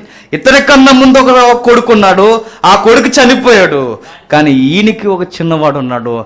ఆ కొడుకుని ఆ కొడుకుని కనిన తల్లిని అంటే చనిపోయిన అన్ననే తల్లిని ఈ చిన్న బిడ్డలో చూసుకుని బతికేస్తున్న ఒక ముసలి తండ్రి మాకున్నాడయ్యా అని చెప్తున్నాడు. ఎలా చెప్తున్నారు చూడండి కఠినులైన మనుషులు కూడా ఆ ప్రేమను ఎంత బాగా వివరిస్తున్నారు. వాని తల్లికి వాడు అక్కడే మిగిలి ఉన్నాడు. అంటే ఆ మాటకు అర్థం ఏంటి? ఆ తల్లికి సంబంధించిన గుర్తు ఏదన్నా ఉంది అంటే మా తండ్రి యాకోబుకి వాడు ఒక్కడేనయ్యా. మొదటి వాడు ఎలాగూ చనిపోయాడు ఆ ప్రేమ గుర్తు అప్పుడే పోయింది. ముసలతన్న మందు తన తల్లిని పోగొట్టుకుని లేక లేక ఉన్నాడు వాడి పేరు బెన్యమీను. వాడిని చూసుకుని ముసలతన మందు మా తండ్రి బతుకుతున్నాడయ్యా. ఎంతగా బతుకుతున్నాడంటే వాని తండ్రి వానిని ప్రేమించుచున్నాడని చెప్పితిమి అప్పుడు తమరు నేను అతన్ని చూసుటకు అతన్ని నా యొద్దకు తీసుకొని రండని తమ దాసులతో చెప్పిదిరి. అందుకు మేము ఆ చిన్నవాడు తన తండ్రిని విడవలేడు. వాడు తన తండ్రిని విడిచిన ఎడల వాని తండ్రి చనిపోవునని వారితో ఏలిన వారైన మీతో చెప్పితమే. చూసారా? ఆ తండ్రి కొడుకుల యొక్క ఎఫెక్షన్ ఎట్లా ఉంటుందంటే వారి యొక్క బంధం ఎట్లాంటిదంటే ప్రభువా ఒక్కసారి ఈ కొడుకు దూరమయ్యాడని ఆ తండ్రికి తెలిస్తే ఆ రోజు ఆ తండ్రి గుండె ఆగిపోతుంది. అంత ప్రేమ మా తండ్రికి మా తమ్ముడి మీద. దయచేసి మీకు ముందు నుంచి చెప్పుకుంటూ వస్తున్నాం రాజా. మీకు ముందు నుంచి ఆ వినతని మీకు తెలియజేసుకుంటూనే వస్తున్నాం. ఈరోజు మరలా ఈ ఘోరాన్ని అలా చెప్పుకోవాలి కూడా మాకు అర్థం అవట్లేదు. వాళ్ళిద్దరి మధ్య ఎంత ప్రేమ అంటే ఇతడు తండ్రిని వదలలేడు కొడుకుని ఆ తండ్రి వదలలేడు. వదిలితే ఏమవుద్దయ్యా అంటే ఇద్దరిలో ఎవరో ఒకరు చచ్చిపోతారు. మా తండ్రి అయితే గ్యారంటీ చనిపోతాడయ్యా. సమాధానంతో వెళ్ళమంటున్నావే సమాధానం కాదు మేము ఇంటికి వెళ్ళే క్షణానికి ఆ నిమిషానికి మా తమ్ముడు మాతో కనబడకపోతే మా తండ్రి యొక్క ఆ గుండె దడ మేము వినలేము ఎప్పుడైతే ఆయన అక్కడికి వెళ్ళిపోయాడో ఆయన మేము అలా చూడలేము. ఇంకా ఏం చెప్తున్నాడు చూడండి కొన్ని పదాలు ఉన్నాయి. చాలా ఇంపార్టెంట్ పదాలు ఉన్నాయి మనకి. అందుకు తమరు. మీ తమ్ముడు మీతో రాని మీరు మరలా నా ముఖం చూడకూడదని తమ దాసులతో చెప్పితిరి. కాబట్టి నా తండ్రి అయిన తమ దాసుని యొద్దకు మేము వెళ్ళి ఏనిన వారి మాటలు అతనికి తెలియచేసి మేము మా తండ్రి మీరు తిరిగి తిరిగి వెళ్ళి మన కొంచెం మన కొరకు కొంచెం ఆహారం కొనుక్కుని రండని చెప్పినప్పుడు మేము అక్కడికి వెళ్ళలేము. మా తమ్ముడు మాతో కూడా ఉండిన వెళ్ళుదుము. మా తమ్ముడు మాతో ఉంటే గాని మా మనుషుని ముఖము చూడలేమని చెప్పితిమి. అందుకు తమ దాసుడైన నా తండ్రి నా భార్య నాకిద్దరిని కనినని మీరు ఎరుగుదురు వారిలో ఒకడు నా యొద్ద నుండి వెళ్ళిపోయాను. నిశ్చయముగా దృష్టమృగముల చేత చేల్చబడెను. చూసారా? అని అనుకుని ఏమంటాడు చూడండి. యాకోబు గారు చెబుతున్నారట రే నా భార్య పోయిన దగ్గర నుండి నాకేమన్నా గుర్తులు ఉన్నాయంటే ఆ మొదటి కొడుకు ఉన్నాడు అనుకుంటే వాడిని దృష్టముగాలు అడవిలో తినేసి అనుకున్నా అనుకుంటున్నాను నేను. అనగానే వీళ్ళు అనుకుని ఉంటారు ఆ దృష్టముగాలు ఎవరో కాదు తండ్రి మనసులో మేమే ఆ మృగాలం అని. కానీ పైకి మాత్రం ఎలా కనబడుతున్నారో? చక్కగా గొర్రె పిల్లలా కనబడుతున్నారు తండ్రి సాటు బిడ్డలా లోపల మాత్రం ఏంటో చూడండి దృష్టముగాలు తినేసే నిజంగానే తినేసిన మృగాలు ఎవరయ్యా అంటే సొంత అన్నలే. తినేశారట ఆ అబ్బాయిని. తినేశారంటే చావు గురి చేసే స్థితిలో వదిలేశారు. తండ్రి అనుకుంటున్నాడు మృగాలు అయ్యో తినేస్తుంటాయి. చదువు. వచనం మర్చిపోయావా? ఇరవై ఎనిమిది వచ్చును వారిలో ఒకడు నా యొద్ద నుండి వెళ్ళిపోయాను. అతడు నిశ్చయముగా దుష్టముఖముల చేత చీల్చబడినని అనుకుంటుని అప్పటి నుండి అతడు నాకు కనబడలేదు. మీరు నా ఎదుటి నుండి ఇతను తీసుకొని పోయిన తర్వాత ఇతనికి హాని సంభవించిన ఎడల నెరిసిన ఇంటులు గల నన్ను మృతుల లోకములోనికి దుఃఖముతో దిగిపోవున్నట్లు.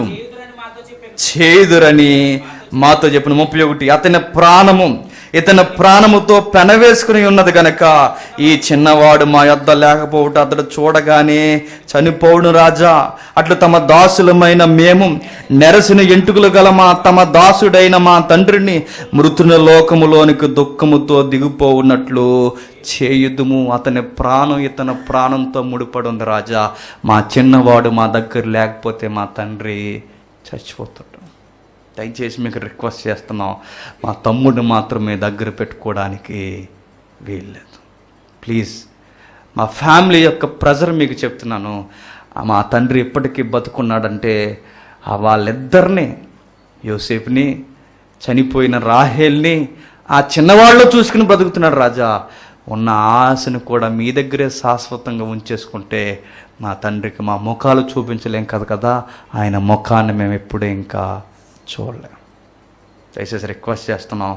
ఆయన దుఃఖంతో పాతాళానికి పోయేటట్టుగా చేయొద్దు మా తమ్ముడిని వదిలేండి అన్న భావం ముందే వ్యక్తీకరిస్తున్నారు చూడండి. కానీ విషయం ఏంటంటే ఎంత ప్రెజర్ జరుగుతున్నప్పుడు ఎప్పుడో నష్టం చేసిన అన్నలకు బుద్ధి నేర్పడానికి ఎప్పుడో దూరమైపోయిన తండ్రితో మరలా కలవడానికి వారధి ఎవరవుతున్నారయ్యా అంటే ఇక్కడ రైట్ హ్యాండ్ క్యారెక్టర్ ప్లే చేస్తున్నది ఎవరు? బెన్యామిన్. మీరు గమనించండి. బెన్యామీన్ అని ఒక రిఫరెన్స్ దొరుకుతుంది చూడండి. ఎక్కడికి వెళ్ళడానికి మరలా? అన్నల హృదయంలోకి వెళ్ళడానికి. అంటే యోసేపు గారిని చూడండి యోసేపు గారు మరలా తన తండ్రిని చూడడానికి యోసేపు గారు మరలా తన అన్నలతో పెనవేసుకోవడానికి వాళ్ళకి ఒక బుద్ధి నేర్పడానికి ఏం చెప్పాలనుకుంటున్నాడు అయ్యా అంటే ఆ ప్రేమ పాఠాన్ని ప్రేమ బంధాలతోనే నేర్పాలి. ఒరే దూరం అవుతే ఎలా ఉంటుందో మీకు అర్థం అవ్వాలరా. విడిపోతే పరిస్థితులు ఎలా ఉంటాయో మీకు అర్థం అవ్వాలరా.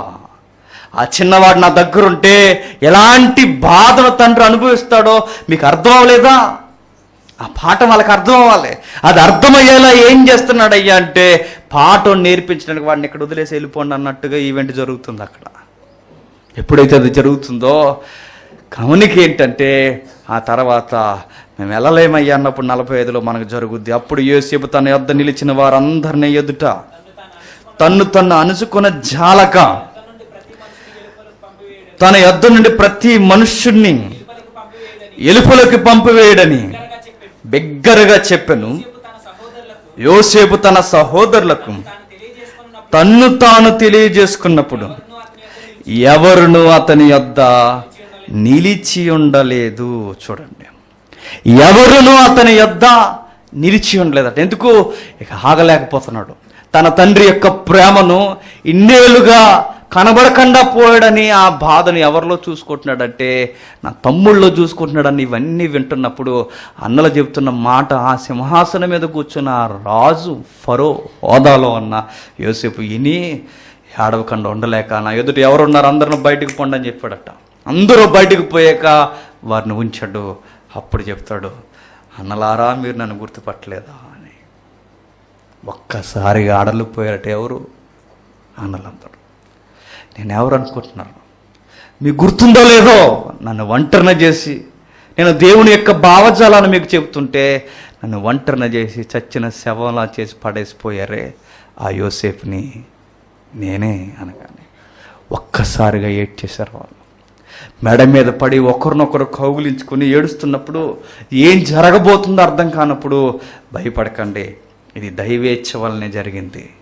రాబోతున్న ఈ కరువు కాటకాల నుండి తన ప్రజలను కాపాడుకోవడానికి నా తండ్రిని మరింత సుఖవంతమైన జీవితంలోనికి నడిపించడానికి ముందుగా కష్టాల గుండా వెళ్ళిపోవడానికి ఇస్రాయేలికి మంచి భవిష్యత్తునివ్వడానికి నేను దాసుడిగా కష్టాలు అనుభవించింది ఇది దేవుని వల్లనే జరిగింది తప్ప మీ తప్పేమీ లేదని ఎంత బాగా ఆలోచిస్తున్నాడు చూడండి. మనం అయితే మనం అయితే ఏం చేద్దాం? ఐగుప్తిలో మొత్తం పిరమిడ్లన్నీ కట్టించే వరకు ఎవరిని వదలకండి అని చెప్తాం. మొత్తం ఐగుప్తులో ఎక్కడెక్కడ ఏ బంకమట్టి ఇటుకలు చేస్తున్నారో ఫస్ట్ లైన్లో వీళ్ళు ఉండాలి ఈ పదకొండు మంది. వీళ్ళందరూ ఖచ్చితంగా ఉండాలి. వీళ్ళందరినీ మట్టి వాసనతో తిరిగేలా చేయాలి. బుద్ధి అప్పుడు చెప్తే మనం ఆన్సరు అయిందా అని. కానీ యోసేపు అలా చేయలా. ఒక మంచిగా నేర్పిస్తున్నాడు. అర్థం చేసుకోండి. ఈ వైఖరి మంచిది కాదు. ఎప్పటికైనా మారండి అని పగని చూడండి. పగని ప్రేమతో జయిస్తూ ప్రేమను చూపించి వాళ్ళ అన్నల్ని మార్చేశాడు. ఈ వార్త వెళ్ళిందట. ఎప్పుడైతే ఈ వార్త వెళ్ళిందో యాకోబు గారు ఆ వార్త చెబుతున్నప్పుడు ఏం జరుగుతుందో చూడండి. నలభై ఐదు ఇరవై ఆరులో యోసేపు ఇంకా బ్రతుకుండి ఐగుప్తి దేశం అంతటిని ఏలుచున్నాడని అతనికి తెలియజేసిరి.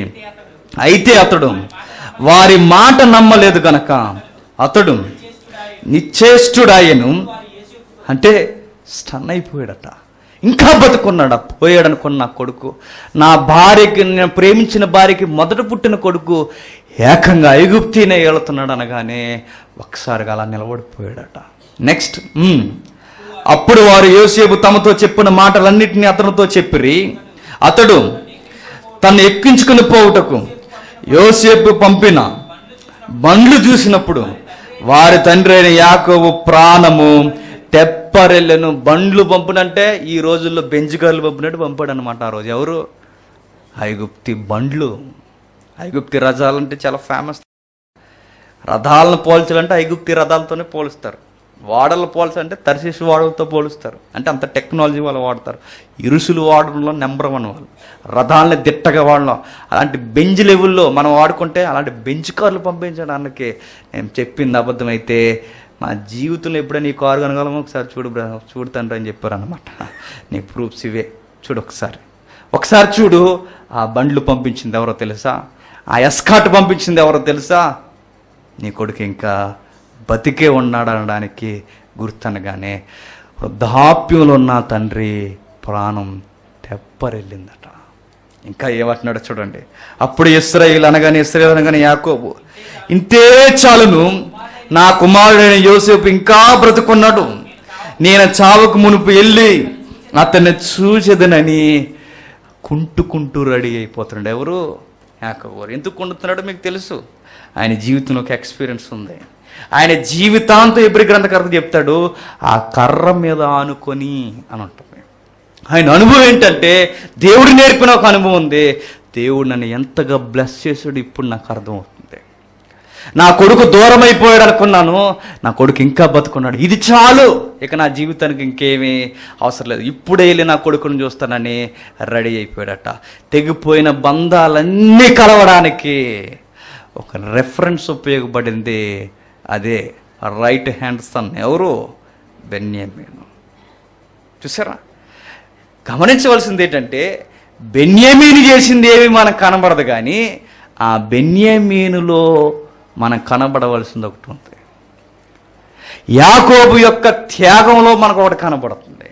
ఆ తండ్రి కొడుకుల యొక్క ప్రేమ బంధంలో మనకు ఒకటి కనబడుతుంది. అది నేర్చుకోవడానికి ఇదంతా. ఏం జరిగిందయ్యి అంటే బయలుదేరిపోయారు. నిజముగా వాడు నిజముగా రైట్ హ్యాండ్ లాంటి వాడు అంటేనా అని మనం అర్థం చేసుకోవాలనుకుంటే నిజమే. భవిష్యత్తు తరాల్లో దావిది వరకు కూడా ఏమని పొగిడారో తెలుసా? తలమాలిక అన్నారు. ప్రతీక అన్నారు. చూద్దాం ఒకసారి కీర్తన గ్రంథం. చూద్దాం ఒకసారి కీర్తన. అరవై ఎనిమిదవ కీర్తన. అరవై ఎనిమిదవ కీర్తన. మొదటి వచ్చిన చూడండి ముందు. దేవుడు లేచును గాక. ఆయన శత్రువులు చెదరపోవును గాక. ఆయనను ద్వేషించువారు. ఆయన సన్నిధి నుండి పారిపోదురుగాక గాక అని చెబుతూ ఇరవై ఏడవచనంలో ఏమంటున్నాడు చూడండి. కనిష్ఠుడగు బెన్యామీను అను. అను వారి ఏలిక అచ్చట ఉన్నాడు. ఏమంటున్నాడు చూడండి. కనిష్ఠుడైన బెన్యామీను అక్కడే ఉన్నాడు. వారి ఏలిక అన్నాడు చూడండి. ఇన్ని గోత్రాల్లో ఎక్కడో చివరనున్న ఎవరిని పొగుడుతున్నారు దావిద్ గారు? పెన్యమ్మిని పొగుడుతున్నారు. ఎందుకు ఇలా పొగుడుతున్నారంటే ఆ పేరుకి అర్థాలు వారి జీవితంలో కనబడ్డాయి. నెక్స్ట్ నిజమే మనకు కనబడేది న్యాయపదులకు వచ్చేసరికి ఎవడయ్యా నిలబడేదంటే బెన్యామిని గోత్రమే నిలబడుతుంది. ఆ తర్వాత తర్వాత బెన్యమ్మిని ఎక్కడి వరకు కనబడుతుంది ఆ సౌండ్ అంటే క్రొత్త నిబంధన వరకు మనకు కనబడుతుంది. ఎంతగానో టూకీగా చెప్తాను ఇక్కడ నుండి మనం బయలుదేరాలి. ఏం జరిగిందంటే ధాన్యం ఇస్తున్నప్పుడు వారితో పాటు ఐదు పాలు ఎక్కువ ఇస్తాడు ఎవరికి? యోసేపు గారు. యోసేపు గారు బెన్యామినికి. మరలా వస్త్రాలు రెండే జతల వస్త్రాలు ఇస్తున్నప్పుడు ఏం చేస్తాడయ్యా అంటే ఈయనకి ఐదు జతలు వస్త్రాలు ఇస్తాడు. ఎవరికి? బెన్యమీనికి. నిజానికి జ్యేష్ఠుడికి ఇవ్వాలి ఇవన్నీ. ఎవరికి ఇస్తున్నారు? బెన్యామిన్కి ఇస్తున్నారు. ఇజ్రాయెల్ సంస్కృతిలో ఎవరికి దక్కాలయ్యా అంటే పది పాలు లేదా రెండు పాలు ఎక్కువ ఎవరికి ఉంటాయి అంటే జ్యేష్ఠుడికి ఉండాలి. కానీ ఇప్పుడు జ్యేష్ఠుడిగా రైట్ హ్యాండ్లో ఎవరికి ఇస్తున్నారు? బెన్యామిన్కి ఇస్తున్నారు పేరుకి అర్థం వారి లైఫ్లో కనబడుతుంది చూడండి. ఇంకా ఎన్ని ఇచ్చాడంటే మూడు వందల తోముల ఎండి ఇచ్చాడట నలభై ఐదు ఇరవై రెండులో. చూద్దాం ఒకసారి. అతడు వారికి రెండేసి దుస్తులు బట్టలు ఇచ్చాను బెన్యమీనికి. మూడు వందల తూములు ఎండియు ఐదు ఐదు దుస్తుల బట్టలు ఇచ్చాను మూడు వందలట. చూసారా? అంటే జ్యేష్ఠుడికి ఇస్తున్నట్టుగా ఇస్తున్నారు ఎవరికి? బెన్యమిన్కి. ఆ తర్వాత తరవాల్లో బెన్యమిన్ అనే గోత్రం చాలా కీ రోల్ ప్లే చేసింది. ఎంతగా అంటే ఇజ్రాయేల్ దేశంలో ఎవరిని పక్కన నిలబెట్టినా అందరూ భుజాల కిందకే ఉంటారట. అతడు మాత్రమే చాలా ఇటు ఉంటాడు అందరిని ఎలా చూస్తాడట. ఎవరతగాడు సౌలు. సౌలు గారికి చూడండి బ్లెస్సింగ్ ఎలా వచ్చేసిందో. ఇస్రాయేలీలకి మొట్టమొదటి రాజు ఏ గోత్రం నుంచి అయ్యాడయ్యా అంటే మీరు గుర్తుపెట్టుకోండి సౌలు. వారిని ఎంపిక చేసుకోవడానికి కారణం ఏంటంటే నిజానికి అంతా ఆయనకి అన్ని కిలిసిలేవు ఆయనకి ఆయన ఆయన యొక్క ఏంటది ఆయన యొక్క ఎక్స్పీరియన్స్ ఏంటంటే ఆయన ప్రొఫెషన్ ఏంటంటే చెప్పండి గాడిదలు గాయడు ఎవరిది? సౌలు గారిది. గాడిదలు కాసేవాడు ఇస్రాయేల్కి రాజు అవుతున్నాడు. ఏమో ఏం జరుగుతుందో మనకు తెలియదు కానీ ఆ ఫ్లేవర్ మాత్రం ఆ ఏలిక అనే ఫ్లేవర్ మాత్రం బెన్యమీన్లో కనబడుతుంది చూడండి. తలమానికగా కనబడుతున్నారు వాళ్ళు. ఇంకా ఏం జరుగుతుందయ్యా అంటే బెన్యామిన్కి? ఆ తర్వాత తరాలకు వచ్చేసరికి గొప్ప గొప్ప కార్యాలు మనం చూస్తుంటాం. ఏం జరిగిందయ్యా అంటే క్రొత్త నిబంధనలో మీరు గుర్తుపెట్టుకోండి. పన్నెండు మంది శిష్యుల్లో ఒక ఆయన దూరం అయిపోతాడు ఎవరు?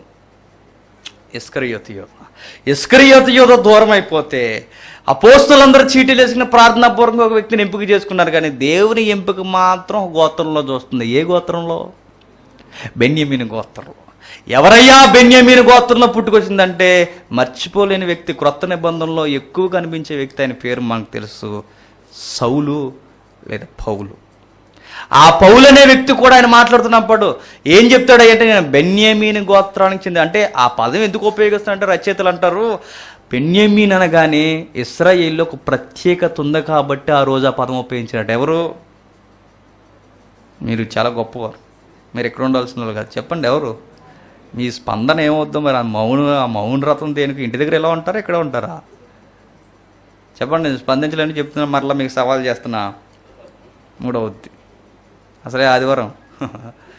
అర్థం చేసుకుని ముందుకు వచ్చేయండి జాగ్రత్తగా. ఎవరు? బెన్యామీన్ అని ప్రౌడ్గా చెప్పుకుంటున్నది ఎవరయ్యా అంటే పౌలు గారు. ఎందుకు అలా చెప్పుకుంటున్నాడంటే ఇస్రాయేల్లో బెన్యామీన్ అనగానే ఒక ప్రత్యేకమైన స్థానం ఉంది. అది దావీద్ గారు కూడా పొగుడుతున్నారు. ఏమని? ఏమని పొగిడాడు ఆయన? ఏమని? ప్రతీక తలమానిక అన్నాడు ఆయన. తలమానిక అన్నాడు ఆయన. అంటే ఎలా చూసినా యాకోబు గారు పెట్టిన పేరు తరతరాలు మర్చిపోకుండా ఆ క్యారెక్టర్ని కంటిన్యూ చేస్తుంది ఆ గోత్రం చూడండి. ఈ అపేక్షణలో ఉంచండి. అయితే ఈ తండ్రికి కొడుక్కి ఎంత బంధం ఉందయ్యా అంటే ఒకరిని ఒకరు విడిచి ఉండలేరు ఇప్పుడు క్రిస్మస్లోకి మనం వెళ్దాం. ఒక బాహ్యమైన తండ్రికి కొడుక్కి ఎడబాటు జరిగితే ఏమవుద్ది అంటే గుండుపోటు చచ్చిపోతారు.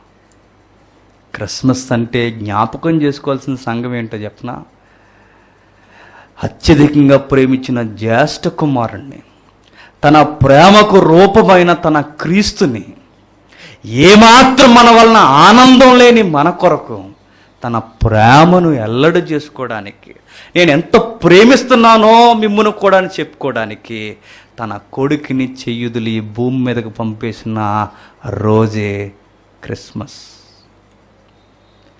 యాకోబు చేయలేనిది యాకోబు కన్నా నూరు రెట్లు ప్రేమ కలిగిన పరలోకమందున్న తండ్రి చేస్తున్నది ఏంటయ్యా అంటే మన అందరి కుటుంబాలు కలవడానికి మన కుటుంబాలన్నీ మరలా దేవుని వైపు చూడడానికి తండ్రి అయిన దేవుడు తీసుకున్న నిర్ణయం ఏంటయ్యా అంటే తండ్రి కొడుకులు మన కొరకు విడిపోయారట.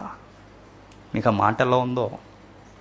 ఆ బాధను ఎలా వర్ణించాలో యోహాన గారు ఏమంటారు చెప్పనా? నేను ఏమి చెప్పలేను ఒక పదం చెప్తాను. దేవుడు ఎంతో లోకాన్ని ప్రేమించిన ఎంత అంటే మనకు అర్థం అవ్వాలని తన కుమారుని అనుగ్రహించాడు. అదే ప్రేమకు తార్కాణం అంటాడు. యేసుక్రీస్తు లేకుండా సృష్టి లేదు. యేసుక్రీస్తు లేకుండా పరలోకానికి అందమే లేదు. యేసుక్రీస్తు లేకుండా తండ్రి ఉండలేడు. తండ్రి లేకుండా కుమారుడు ఉండలేరు. ఒకరిని ఒకరు ఇడిచి ఒక్క క్షణం కూడా ఉండలేరు. ఒక్క క్షణం నిమిషాల దూరం అయితేనే సిలువు మీద కేకలేశాడు. తండ్రి నాకు ఈ బాధ ఎక్కువ కాదు తండ్రి. ఈ సిలువలు వంద సిలువలు వచ్చిన నేను భరించగలను. నా బాధ ఏంటంటే నువ్వు మాత్రం నా చెయ్యి వదలొద్దు అన్నాడు. అలాంటి బంధాన్ని కూడా తెంచుకుని భూమి మీదకి రావడానికి కారణం ఏంటయ్యా అంటే తెగిపోయి ఎక్కడో గాలికి ఎగిరిపోయే పొట్టులా తిరుగుతున్న మనల్ని కలపడానికి తండ్రి కొడుకులు ఒకరినొకరు దూరం అయిపోయారట. పరలోకంలో ఆయన ఉండిపోతే ఈ మట్టి లోకంలోకి దీనుడుగా ఆయన వచ్చేసాడు మన కొరకు. ఇది కదా నేర్చుకోవాల్సింది క్రిస్మస్ అంటే. ఇది కదా మనం నేర్చుకోవాల్సింది క్రిస్మస్లో ఏముందయ్యా అంటే తండ్రి కొడుకుల త్యాగం ఉంది. ఇది చెప్పొద్దా చెప్పండి?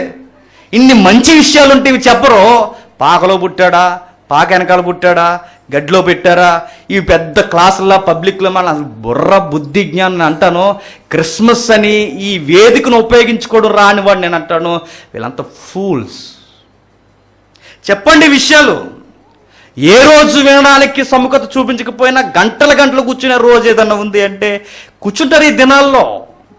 నిజమైన క్రిస్మస్ అంటే ఏంటయ్యా అంటే ఆ త్యాగం చెప్పు. యేసుక్రీస్తు ఇందుకు వచ్చాడా? ఇలాంటి బంధాన్ని కాదనుకో నా కొరకు వచ్చాడా? అంటే ఎస్ అందుకే ఆయన వచ్చాడు. అందుకే ఆయన పుట్టాడు.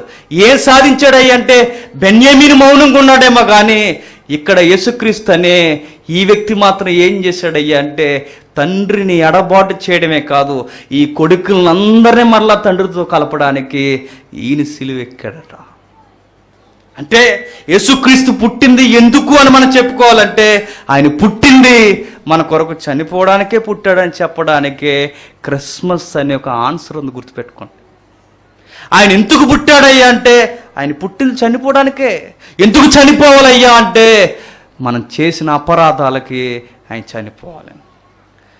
యోసేపు అన్నలు చేసిన అపరాధానికి ఆయన దూరం అయిపోయాడు యోసేపు అన్నలు చేసిన అపరాధానికి ఆయన సరసాల పాలైపోయాడు.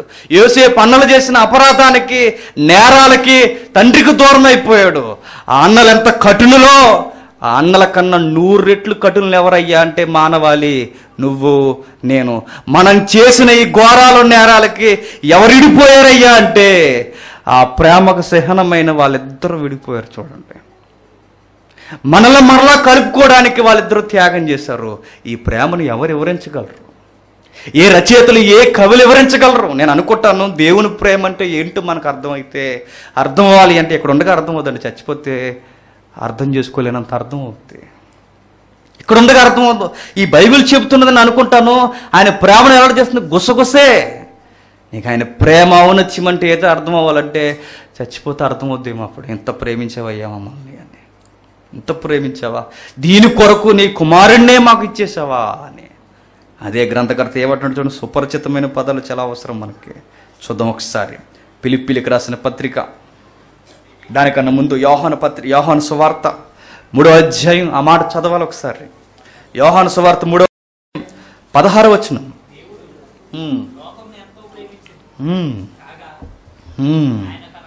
దేవుడు లోకమును ఎంతో ప్రేమించను. కాగా తన అద్వితీయ కుమారునిగా పుట్టిన వాని యందు విశ్వాసముంచు ప్రతి వాడును నశింపక నిత్య జీవం పొందినట్లు. ఆయనను అనుగ్రహించిన పదాల కూర్పు ఎలా ఉందో చూడండి. గ్రీక్లో వాడతారట ఆ పదం అగాపే అనే పదం. ఆ గంభీరమైన పదానికి ఆ ప్రేమకు పరాకాష్ఠైన ఆ పదానికి తెలుగులో సరి అయిన పదం దొరకలేదట. తర్జుమా చేస్తున్నది వారికి ఎప్పుడైతే ఆ పదం దొరకలేదో ఆ పదానికి తగినట్టు పదం దొరకకపోయేసరికి తర్జుమాలో ఏం చేర్చా ఏం చేర్చారయ్యా అంటే ఎంతో ప్రేమించిన ఎంత అంటే మనం అర్థం చేసుకోలేనంత. ఎంత ప్రేమించాడో ఎవరిస్తున్నాడు చూడండి. ఆయన తన అద్వితీయ కుమారుని అనగానే ఫుట్ నోట్లో ఫుట్ నోట్లో జనతైక కుమార్ని ఒక్కగానొక్క జ్యేష్ఠ కుమార్ని అద్వితీయుణ్ణి అనగానే ఆయన లాంటి వారు ఇంకా ఎవ్వరు లేరు రారు కూడా అలాంటి కొడుకుని మనల్ని ప్రేమించడానికి మనం ప్రేమిస్తున్న ఆయన ఆయన మనల్ని ప్రేమిస్తున్నాడని చెప్పడానికి ఏం చేశాడయ్యా అంటే ఆయన ఎందు విశ్వసించు ప్రతి వాడు నిత్య జీవం పొందినట్లు నశింపక. ఆయనను అనుగ్రహించును. యేసుక్రీస్తుని ఇచ్చేసాడట ఎందుకు యేసుక్రీస్తుని ఇచ్చేసాడంటే మానవాళి మరలా మీరు బ్రతుకుండగా మీరు సాధించేది ఏంటంటే మీరు చేసిన ఘోరాలకి నేరాలకి మీకు తగిన స్థలం నరకమే.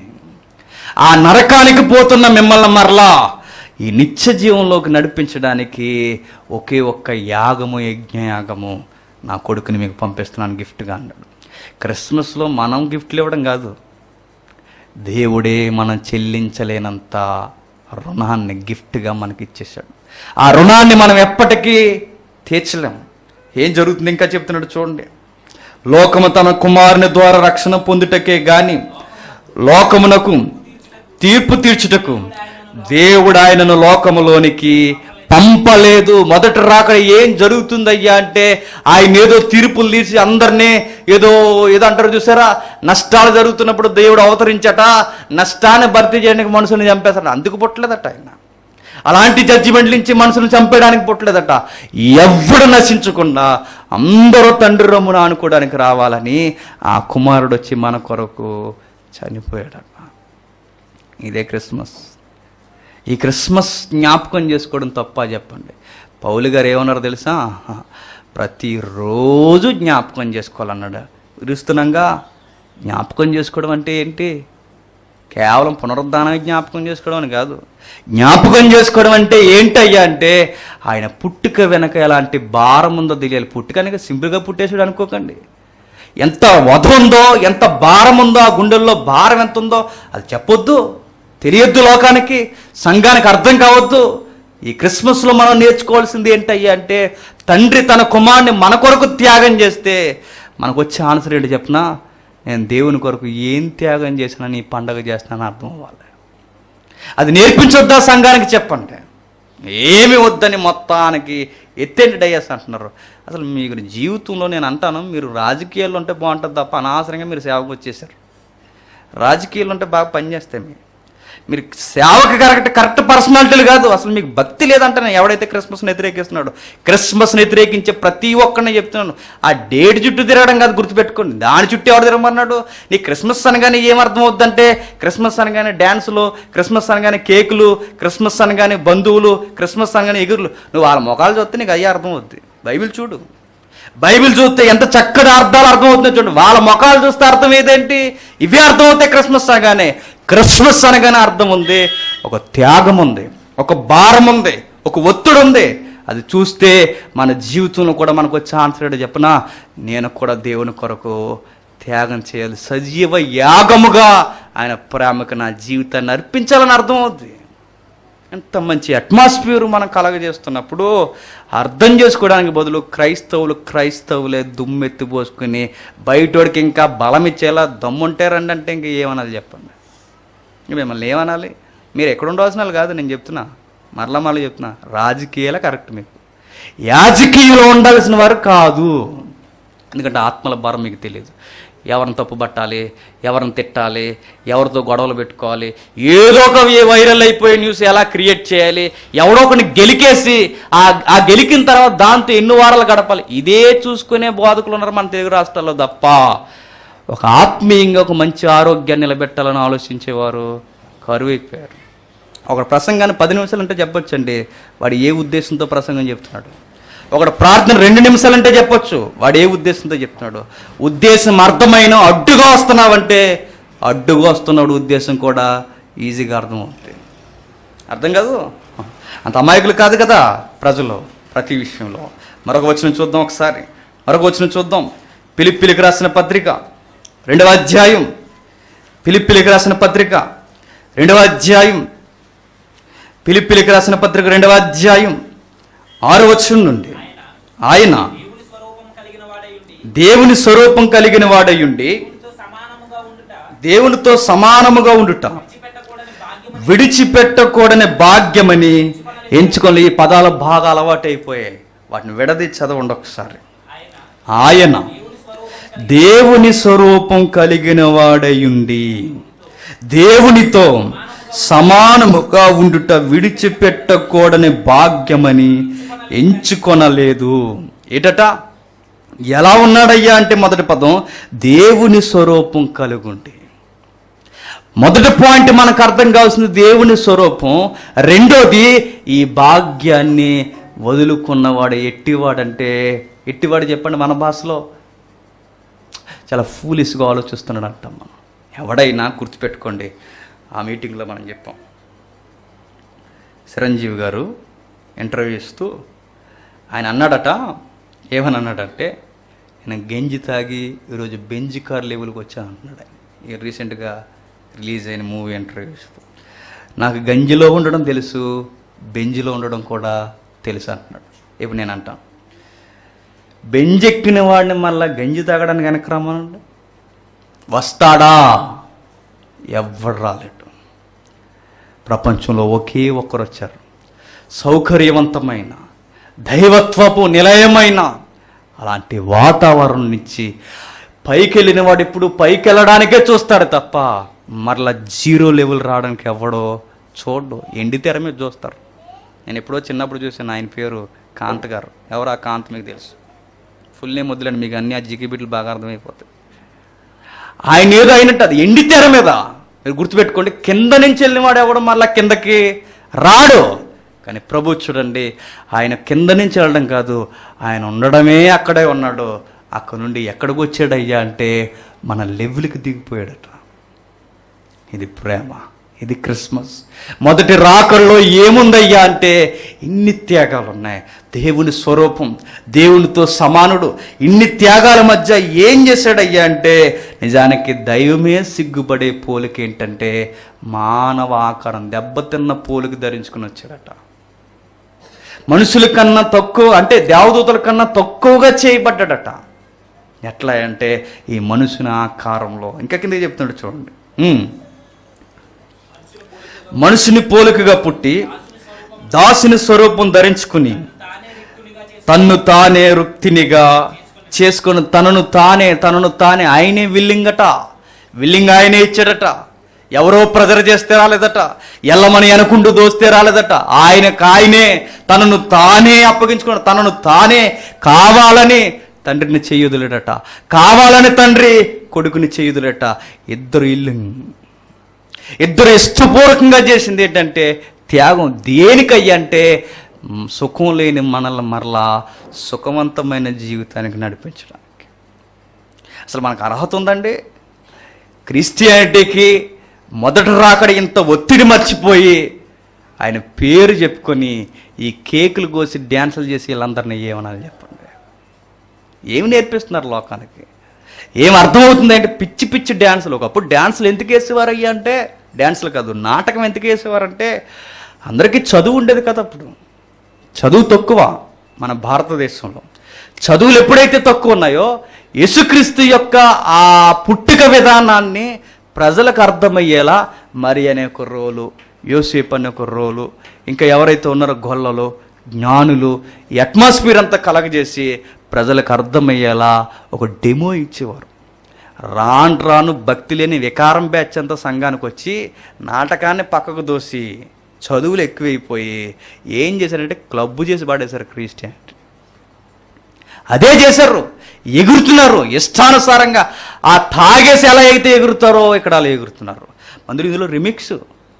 ఇంకా అందులో ఇంకేమన్నా మళ్ళీ అందులో బీట్లు ఇంకా రకరకాల మళ్ళీ అదే సాంగ్స్. నేను అనుకుంటాను సేమ్ సంబరాలు ఎలా జరుగుతున్నాయో మనకు కూడా అలాగే జరుగుతున్నాయి కాదు చెప్పండి. వీటిని ఖండించాలి. ఈ వైఖరిని తప్పుపట్టాలి. కానీ దాని వెనక ఆన్సర్ కూడా చెప్పాలి. ఖండిస్తాం కానీ ఆన్సర్ చెప్పమంటే దేవుడు కూడా ఒక రోజు మనల్ని ఖండిస్తాడు గుర్తుపెట్టుకోండి. యుక్తిగా వెళ్ళడం రావాలి. యుక్తిగా యేసుక్రీస్తుని పరిచయం రావాలి. ఎల్లో నీళ్ళకి ఎల్లో నీళ్ళు యూదునికి యూదుని గాను గ్రీకుని గ్రీకుని గాను ఎలా పరిచయం అయ్యాడంటే మొందా కొడుతూ మందాగాడని కాదు అక్కడ. ఎబిచారుతో ఆయన కూడా ఎబిచార పనులు తిరిగాడని కాదు అక్కడ. వాళ్ళకి ఏదైతే యాటిట్యూడ్ ఉందో ఆ యాటిట్యూడ్కి దగ్గరగా ఆయన వెళ్ళి ఆన్సర్ ఏంటో నేర్పించాడు. అది సేవకుడికి ఉండవలసిన లక్షణం. నేను ఇలాగే ఉంటా వస్తే రండి లేకపోతే అవతల పండు సేవకుడివా లేకపోతే జీతగాడివా? నేను ఏమనాలి అసలు? నేను ఎవరిని అంటున్నానంటే ఎవరిని అంటున్నాను మీరు మళ్ళీ అప్లై చేసుకోండి ఇది వచ్చిన గొడవ. క్రిస్మస్ అలా నాకు విచారం అయిపోద్ది. ఎవరిని అనడం కాదు ఎవడైతే క్రిస్మస్ని వ్యతిరేకిస్తున్నాడో వాళ్ళందరికీ ఇవి వర్తిస్తాయి. తగిన సేవకులుగా వ్యవహరించండి. ఇంకా ఏం జరుగుతుందయ్యా అంటే మంచి మాట మనకు రాయబడింది రోమిలికి రాసిన పత్రిక త్వర త్వరగా ముగించుకుందాం. రోమిలికి రాసిన పత్రిక. రోమిలికి రాసిన పత్రిక ఐదవ అధ్యాయం. రోమిలికి రాసిన పత్రిక ఐదవ అధ్యాయం. ఎనిమిదవ వచ్చం నుండి. అయితే దేవుడు. తన ప్రేమను దేవుడట తన ప్రేమను ఎల్లడపరుస్తున్నాడట. ఎట్లా అనగా మనం ఇంకనూ పాపులమై ఉండగానే క్రీస్తు మన కొరకు చనిపోయాను. కాబట్టి ఆయన రక్తము వలన. తీర్చబడి ఇప్పుడు నీతిమంతులుగా తీర్చబడి మరింత నిశ్చయముగా ఆయన ద్వారా ఉగ్రత నుండి రక్షింపబడింది. ఎంత బాగుందో చూడండి. మొదటి రాక నాకు ఏమి నేర్పిస్తుంది అయ్యా అంటే మొదటి రాక నాకు చాలా విషయాలు నేర్పిస్తుంది. ఏమి నేర్పిస్తుంది? అయితే దేవుడు మన ఎళ్ళ తన ప్రేమను ఎల్లడపరుచున్నాడు ఎట్లాగంటే తన కొడుకుని మన కొరకు వదిలేసుకున్నాడు. ఎలా అంటే మనం ఇంకనూ పాపులమై ఉండగానే క్రీస్తు మన కొరకు చనిపోయాను. యేసుక్రీస్తు కావాలనే వస్తున్నట. బెన్యామీనికి ఇదంతా తెలిసి కావాలనే వెళ్ళలేదు. ఆయనకు అనుకోకుండా జరుగుతుంది ఎవరికి? బెన్యామీనికి. కానీ యేసుక్రీస్తు చూడండి అన్నలను దగ్గర చేయడానికి బెన్యమీని వెళ్ళలేకపోయాడు కానీ ఈ కొడుకులందరినీ దగ్గర చేయడానికి ఎలాంటి కార్యములో దిగాలో ఆయనకు అర్థమై ఇష్టపూర్వకంగా దిగిపోయాడట. ఎలాంటి ఇష్టపూర్వకం మనం ఇంకా పాపులమై ఉండగా మనం ఇంకా నేరస్తులమై ఉండగా మనం ఎటు చూసినా దేవునికి ఇష్టకరమైన జీవితాలు లేకుండా మనం ఉండగా మన కొరకు ఆయన చనిపోయాడట. ఇప్పుడు ఎవరి కొరకైనా మనం ఏదైనా త్యాగం చేయాలనుకోండి ఎప్పుడు చేస్తాం? నన్ను బాగా లవ్ చేస్తే చేస్తాం. నాకు అన్ని విరుద్ధమైన పనులు చేస్తూ ఉన్నాడు అనుకోండి నేను ప్రేమించగలనా? నేను ఏమైనా గిఫ్ట్ ఇవ్వగలనా? జీవితంలోకి ఏమి ఇవ్వకూడదు అనుకుంటా. కానీ యేసుగురించి చూడండి ఆయన్ని సంతోషపెట్టేది ఏమి మనం చేయలేకపోయినా తండ్రిని సంతోషపెట్టేది ఏమీ మనం చేయలేకపోయినా మన కొరకు ప్రాణాన్ని చెండ ఈ ప్రేమని ఈ ప్రాణాన్ని మనం ఎలా అర్థం చేసుకోగలం? ఎలా అర్థం చేసుకోగలం? అర్థం చేసుకోలేక చేయాల్సిన పని ఒకే ఒకటి ఆరాధన చేయడం కన్నా మిన్నైనది ఇంకేమీ లేదు. ఆరాధన అంటే ఏంటయ్యా అంటే యాన మీటింగ్స్లో మీకు చెప్పా మీకు గుర్తుందో లేదో. ఆరాధన అంటే ఏంటో చెప్పిన? దేవునికి ఇష్టమైనట్టుగా ఎవ్రీడే నా లైఫ్లో జరగడం ఇంతకు మించి మనం ఏం చేయగలం? అదే కదా వర్షిప్ అంటే అదే కదా ఆరాధన అంటే అదే కదా క్రిస్మస్ అర్థం అంటే అదే కదా యేసుక్రీస్తు మనకు నేర్పిస్తున్నది. ఆరాధన చేయలేనప్పుడు నువ్వు వంద జయంతులు చేసినా వంద పండగలు చేసినా వ్యర్థము దండగే ఇంకా కిందికి నేర్పిస్తున్నాడు చూడండి ఇంకా కిందికి. కాబట్టి ఆయన రక్తం వలన ఇప్పుడు నీతిమంతులుగా తీర్చబడి మరింత నిశ్చయముగా ఆయన ద్వారా ఉగ్రత నుండి రక్షింపబడుదుము. ఏలయనగా మనము శత్రువులమై ఉండగా ఆయన కుమారుని మరణము ద్వారా మనం దేవునితో సమాధానపరచబడుటకు ఎడల సమాధానపరచబడిన సమాధానపరచబడిన వారమై ఆయన జీవించుట చేత మరీ నిశ్చయముగా రక్షింపబడదు అంతేకాదు మన ప్రభు అయిన యేసుక్రీస్తు ద్వారా మనం దేవుని ఎందు అతిశయపడుచున్నాము. ఆయన ద్వారానే మనం ఇప్పుడు సమాధాన స్థితి పొంది ఉన్నాము. అదే క్రిస్మస్ అంటే. ఏమర్థమవుతుందయ్యా అంటే ఆయన చూడండి శత్రువులమై ఉండగా శత్రువులమై ఉండగా దేవునికి ఎనిమీస్ ఎవరయ్యా అంటే ఐగుప్తులు కదట. దేవునికి ఎనిమీస్ ఎవరయ్యా అంటే ఆఫ్రికన్స్ ఇండియన్స్ కదట. ఎవరయ్యా అంటే ప్రజలందరూ ఆయనకి ఎవరు శత్రువులే. దేవునికి శత్రుడై బతికి బట్ట కట్టేవాడు ఎవడో లేడని ఆయన మనసు అనే చట్టమే చెప్తుంది. కానీ బతికి బట్ట కడుతుందంటే కారణం ఏంటయ్యా అంటే మనకు అడ్డుగా ఆయన వచ్చినట్టు. ఎవరు? యేసుక్రీస్తు. వాళ్ళ కోపాన్నంతా నా మీద చూపించే ప్రభు నన్ను కొట్టే నన్ను నలగొట్టే. నా జీవితాన్ని ఎంతగా నలిగిపోవాలని ఉగ్రతకి అంత ఉగ్రతకి నేను గురైపోతాను. వాళ్ళ ఉగ్రత అంతా నా మీదై. నేను బలవుతాను. నేను విడిచి వచ్చిన నిత్యత్వాన్ని వాళ్ళకిస్తాను. నేను పోగు నేను దూరం చేసుకున్న ఆ సింహాసనం కుడిపార్స మీద నీ సంతానాన్ని అంతా నేను కూర్చోబెడతాను. నేను చెప్తున్నాను దేవుడు ఏదైతే ఆయన మనసులో ఉందో అదే వ్యక్తీకరించడానికి భూమి మీద యేసుక్రీస్తు వారు వచ్చేసాడు తండ్రి యొక్క మనసును మరలా శాంతింపజేసి తెప్పరలా చేసింది మరలా ఆ ఆ హృదయంలో ఆనందాన్ని పుట్టించింది ఎవరయ్యా అంటే ఈ కొడుకు ఎవరు? బెన్యమిన్ కదా ఎవరు? యోసేపు కదా ఎవరు? యేసుక్రీస్తు వారు. యేసుక్రీస్తు వారి వలన మరలా దేవునికి శ్వాస అంటే ఆ పదం వాడొచ్చో వాడకూడదో తెలియదు కానీ ఒక్కసారిగా ఊపిరి పీల్చుకున్నట్టుంది ఆయనకి. యేసుక్రీస్తు వారి యొక్క త్యాగం మరలా తండ్రి అయిన దేవునికి ఓ పక్క బాధ మరో పక్క ఆనందం. తండ్రి విడిచి ఉండలేకపోయాడు. త్వరగా మరలా ఆయన్ని తీసుకెళ్ళిపోయాడు. వెళ్ళిపోయిన ఆయన మరలా ఒకరోజు వస్తాడు. మొదటి రాకడ ఏం చెబుతుందయ్యా అంటే ఈ మొదటి రాకడ క్రిస్మస్ వచ్చినప్పుడల్లా మీరు ఏదైతే సంఘం జ్ఞాపకం చేసుకుంటుందో రెండో రాకడ కూడా దగ్గరలోనూ ఉందని జ్ఞాపకం చేస్తుంది. ఇది ఏమి నేర్పిస్తుంది అయ్యా నాకంటే వెళ్ళిన ఈయన మరలా అలానే వస్తాడు. ఒక ఎగ్జాంపుల్ చెప్పి ముగిస్తా. వాడి పేరు నాకు సరిగ్గా గుర్తులేదు. అమెరికాలో ఒక తల్లి క్రిస్టియన్. ఆవిడ ఏం చేసిందంటే సుమారు పదమూడు మంది కొడుకులు ఆ తల్లికి. అమెరికా మిషనరీస్ యొక్క విజన్ ఎక్కువ స్టార్టింగ్లో ఎవరి మీద ఉండేది అంటే ఆఫ్రికా మీద ఉండేది. ఆఫ్రికాకు పంపించింది. ఎంతమంది కొడుకుల్ని పంపించింది అయ్యా అంటే ఒకరి తర్వాత ఒకరిని ఒకరి తర్వాత ఒకరిని పంపించింది. ఒకరి తర్వాత ఒకరిని ఎందుకు పంపిస్తుంది అంటే వెళ్ళిన ప్రతి ఒక్కరిని ఆ జాతి నాగరికత లేని ఆఫ్రికా ప్రజలు చంపేశారు. అలా పదమూడు మందిని చంపేశారు. పదమూడు మంది చనిపోయారు. ఆ తల్లి గుండెల్లో బాధ ఏడుస్తుంది ఒకరోజు. ఇలాంటి వాతావరణంలో తల్లి ఏడుస్తుంటే కొందరు పెద్దలు వచ్చి తల్లి ఏడొకలే జరిగింది ఏదో జరిగిపోయింది. పోయిన బిడ్డలు తిరిగి వస్తారా? మరలా ఏడుస్తున్నావు అంటే ఆ తల్లి అన్న మాట ఏంటో తెలుసా? నేను ఏడుస్తున్నది పద్నాలుగో వాళ్ళు లేడని ఏడుస్తున్నాను అంతే. ఎందుకు ఏడుస్తున్నావు పద్నాలుగు కూడా లేడని మరలా ఆఫ్రికా ఖండానికి వెళ్ళడానికి నా దగ్గర ఎవరో లేడని ఏడుస్తున్నాను అన్నది. కొడుకులు చచ్చిపోయిన బాధ కాదు. నా తరపున సువార్త ప్రకటించే కొడుకు లేక ఏడుస్తున్నాను అయ్యా అందే. క్రీస్తు త్యాగం ఒక విశ్వాసకి ఏమి నేర్పించాలి అయ్యా అంటే త్యాగమే నేర్పించాలి. విశ్వాసులుగా మన గుండెల్లో ఏం మెసేజ్ నేర్పిస్తుందయ్యా? తండ్రి కొడుకులు ఎడబాటు అంటే నేను ఎన్ని త్యాగము చేసిన దేవుని కొరకు తక్కువే అని. ఆ రోజు చేసిన త్యాగం ఈరోజు ప్రపంచానికి దీవెనకరంగా మారింది. మనం ఎప్పుడూ నిజమైన క్రిస్మస్ చేసినట్టంటే మీ జీవితంలో మీరు కూడా త్యాగాలు చేయవలసిన అవసరం ఉంది. అప్పుడే మీ జీవితంలో క్రిస్మస్ అన్నదానికి అర్థం వస్తుంది. పదమూడు మందిని చంపుకున్న ఒక ఒక తల్లి అంత బాగా ఆలోచించిందంటే మన కొడుకులను చంపుకోవద్దు కానీ మీ కొడుకుల్ని సేవకు అనుకూలంగా తీర్చిదిద్దండి. మీ ప్రేమను గుండెల్లోనే దాసేనుకో దాసేసుకోక. ఆ ప్రేమను దేవుని ప్రేమతో కలిపి పెంచండి ఉపయోగపడేలా చేయండి. కానీ విచిత్రం ఏంటి చెప్పిన? సేవకులు సేవ చేస్తున్నప్పుడు ఓ పెద్ద చేసి వచ్చాడు లేరా అంటారు ఎవరు చెప్ప గంట మెసేజ్ కానీ చెప్పు అంటారు.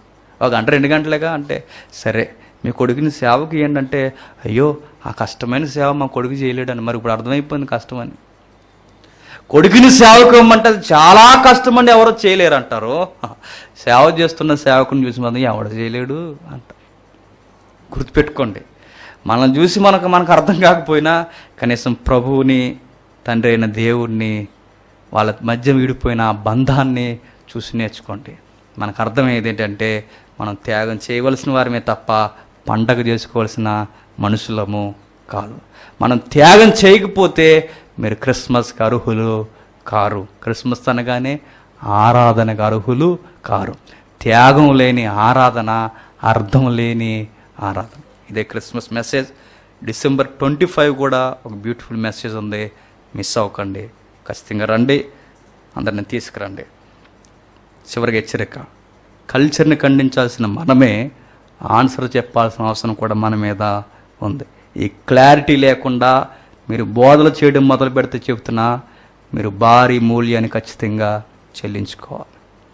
అట్టి వారిని అందరినీ దేవుడు దీవించాలని ప్రార్థన చేద్దాం. ప్రార్థన. పరలోకమందున మా తండ్రి దేవా మీ మనసును అర్థం చేసుకోవడం కన్నా తండ్రి అపార్థం చేసుకోవడంలో ఎప్పుడూ మనుషులుగా మేము ముందున్నాం తండ్రి. మమ్మల్ని క్షమించండి. దేవా మీ కుమారునికి మీకు జరిగిన తండ్రి ఆ వధ మేము భరించలేనిది నేర్చుకున్న తండ్రి మేము ఆ జీవితంలో కండి ఏ త్యాగం చేయలేని వారు.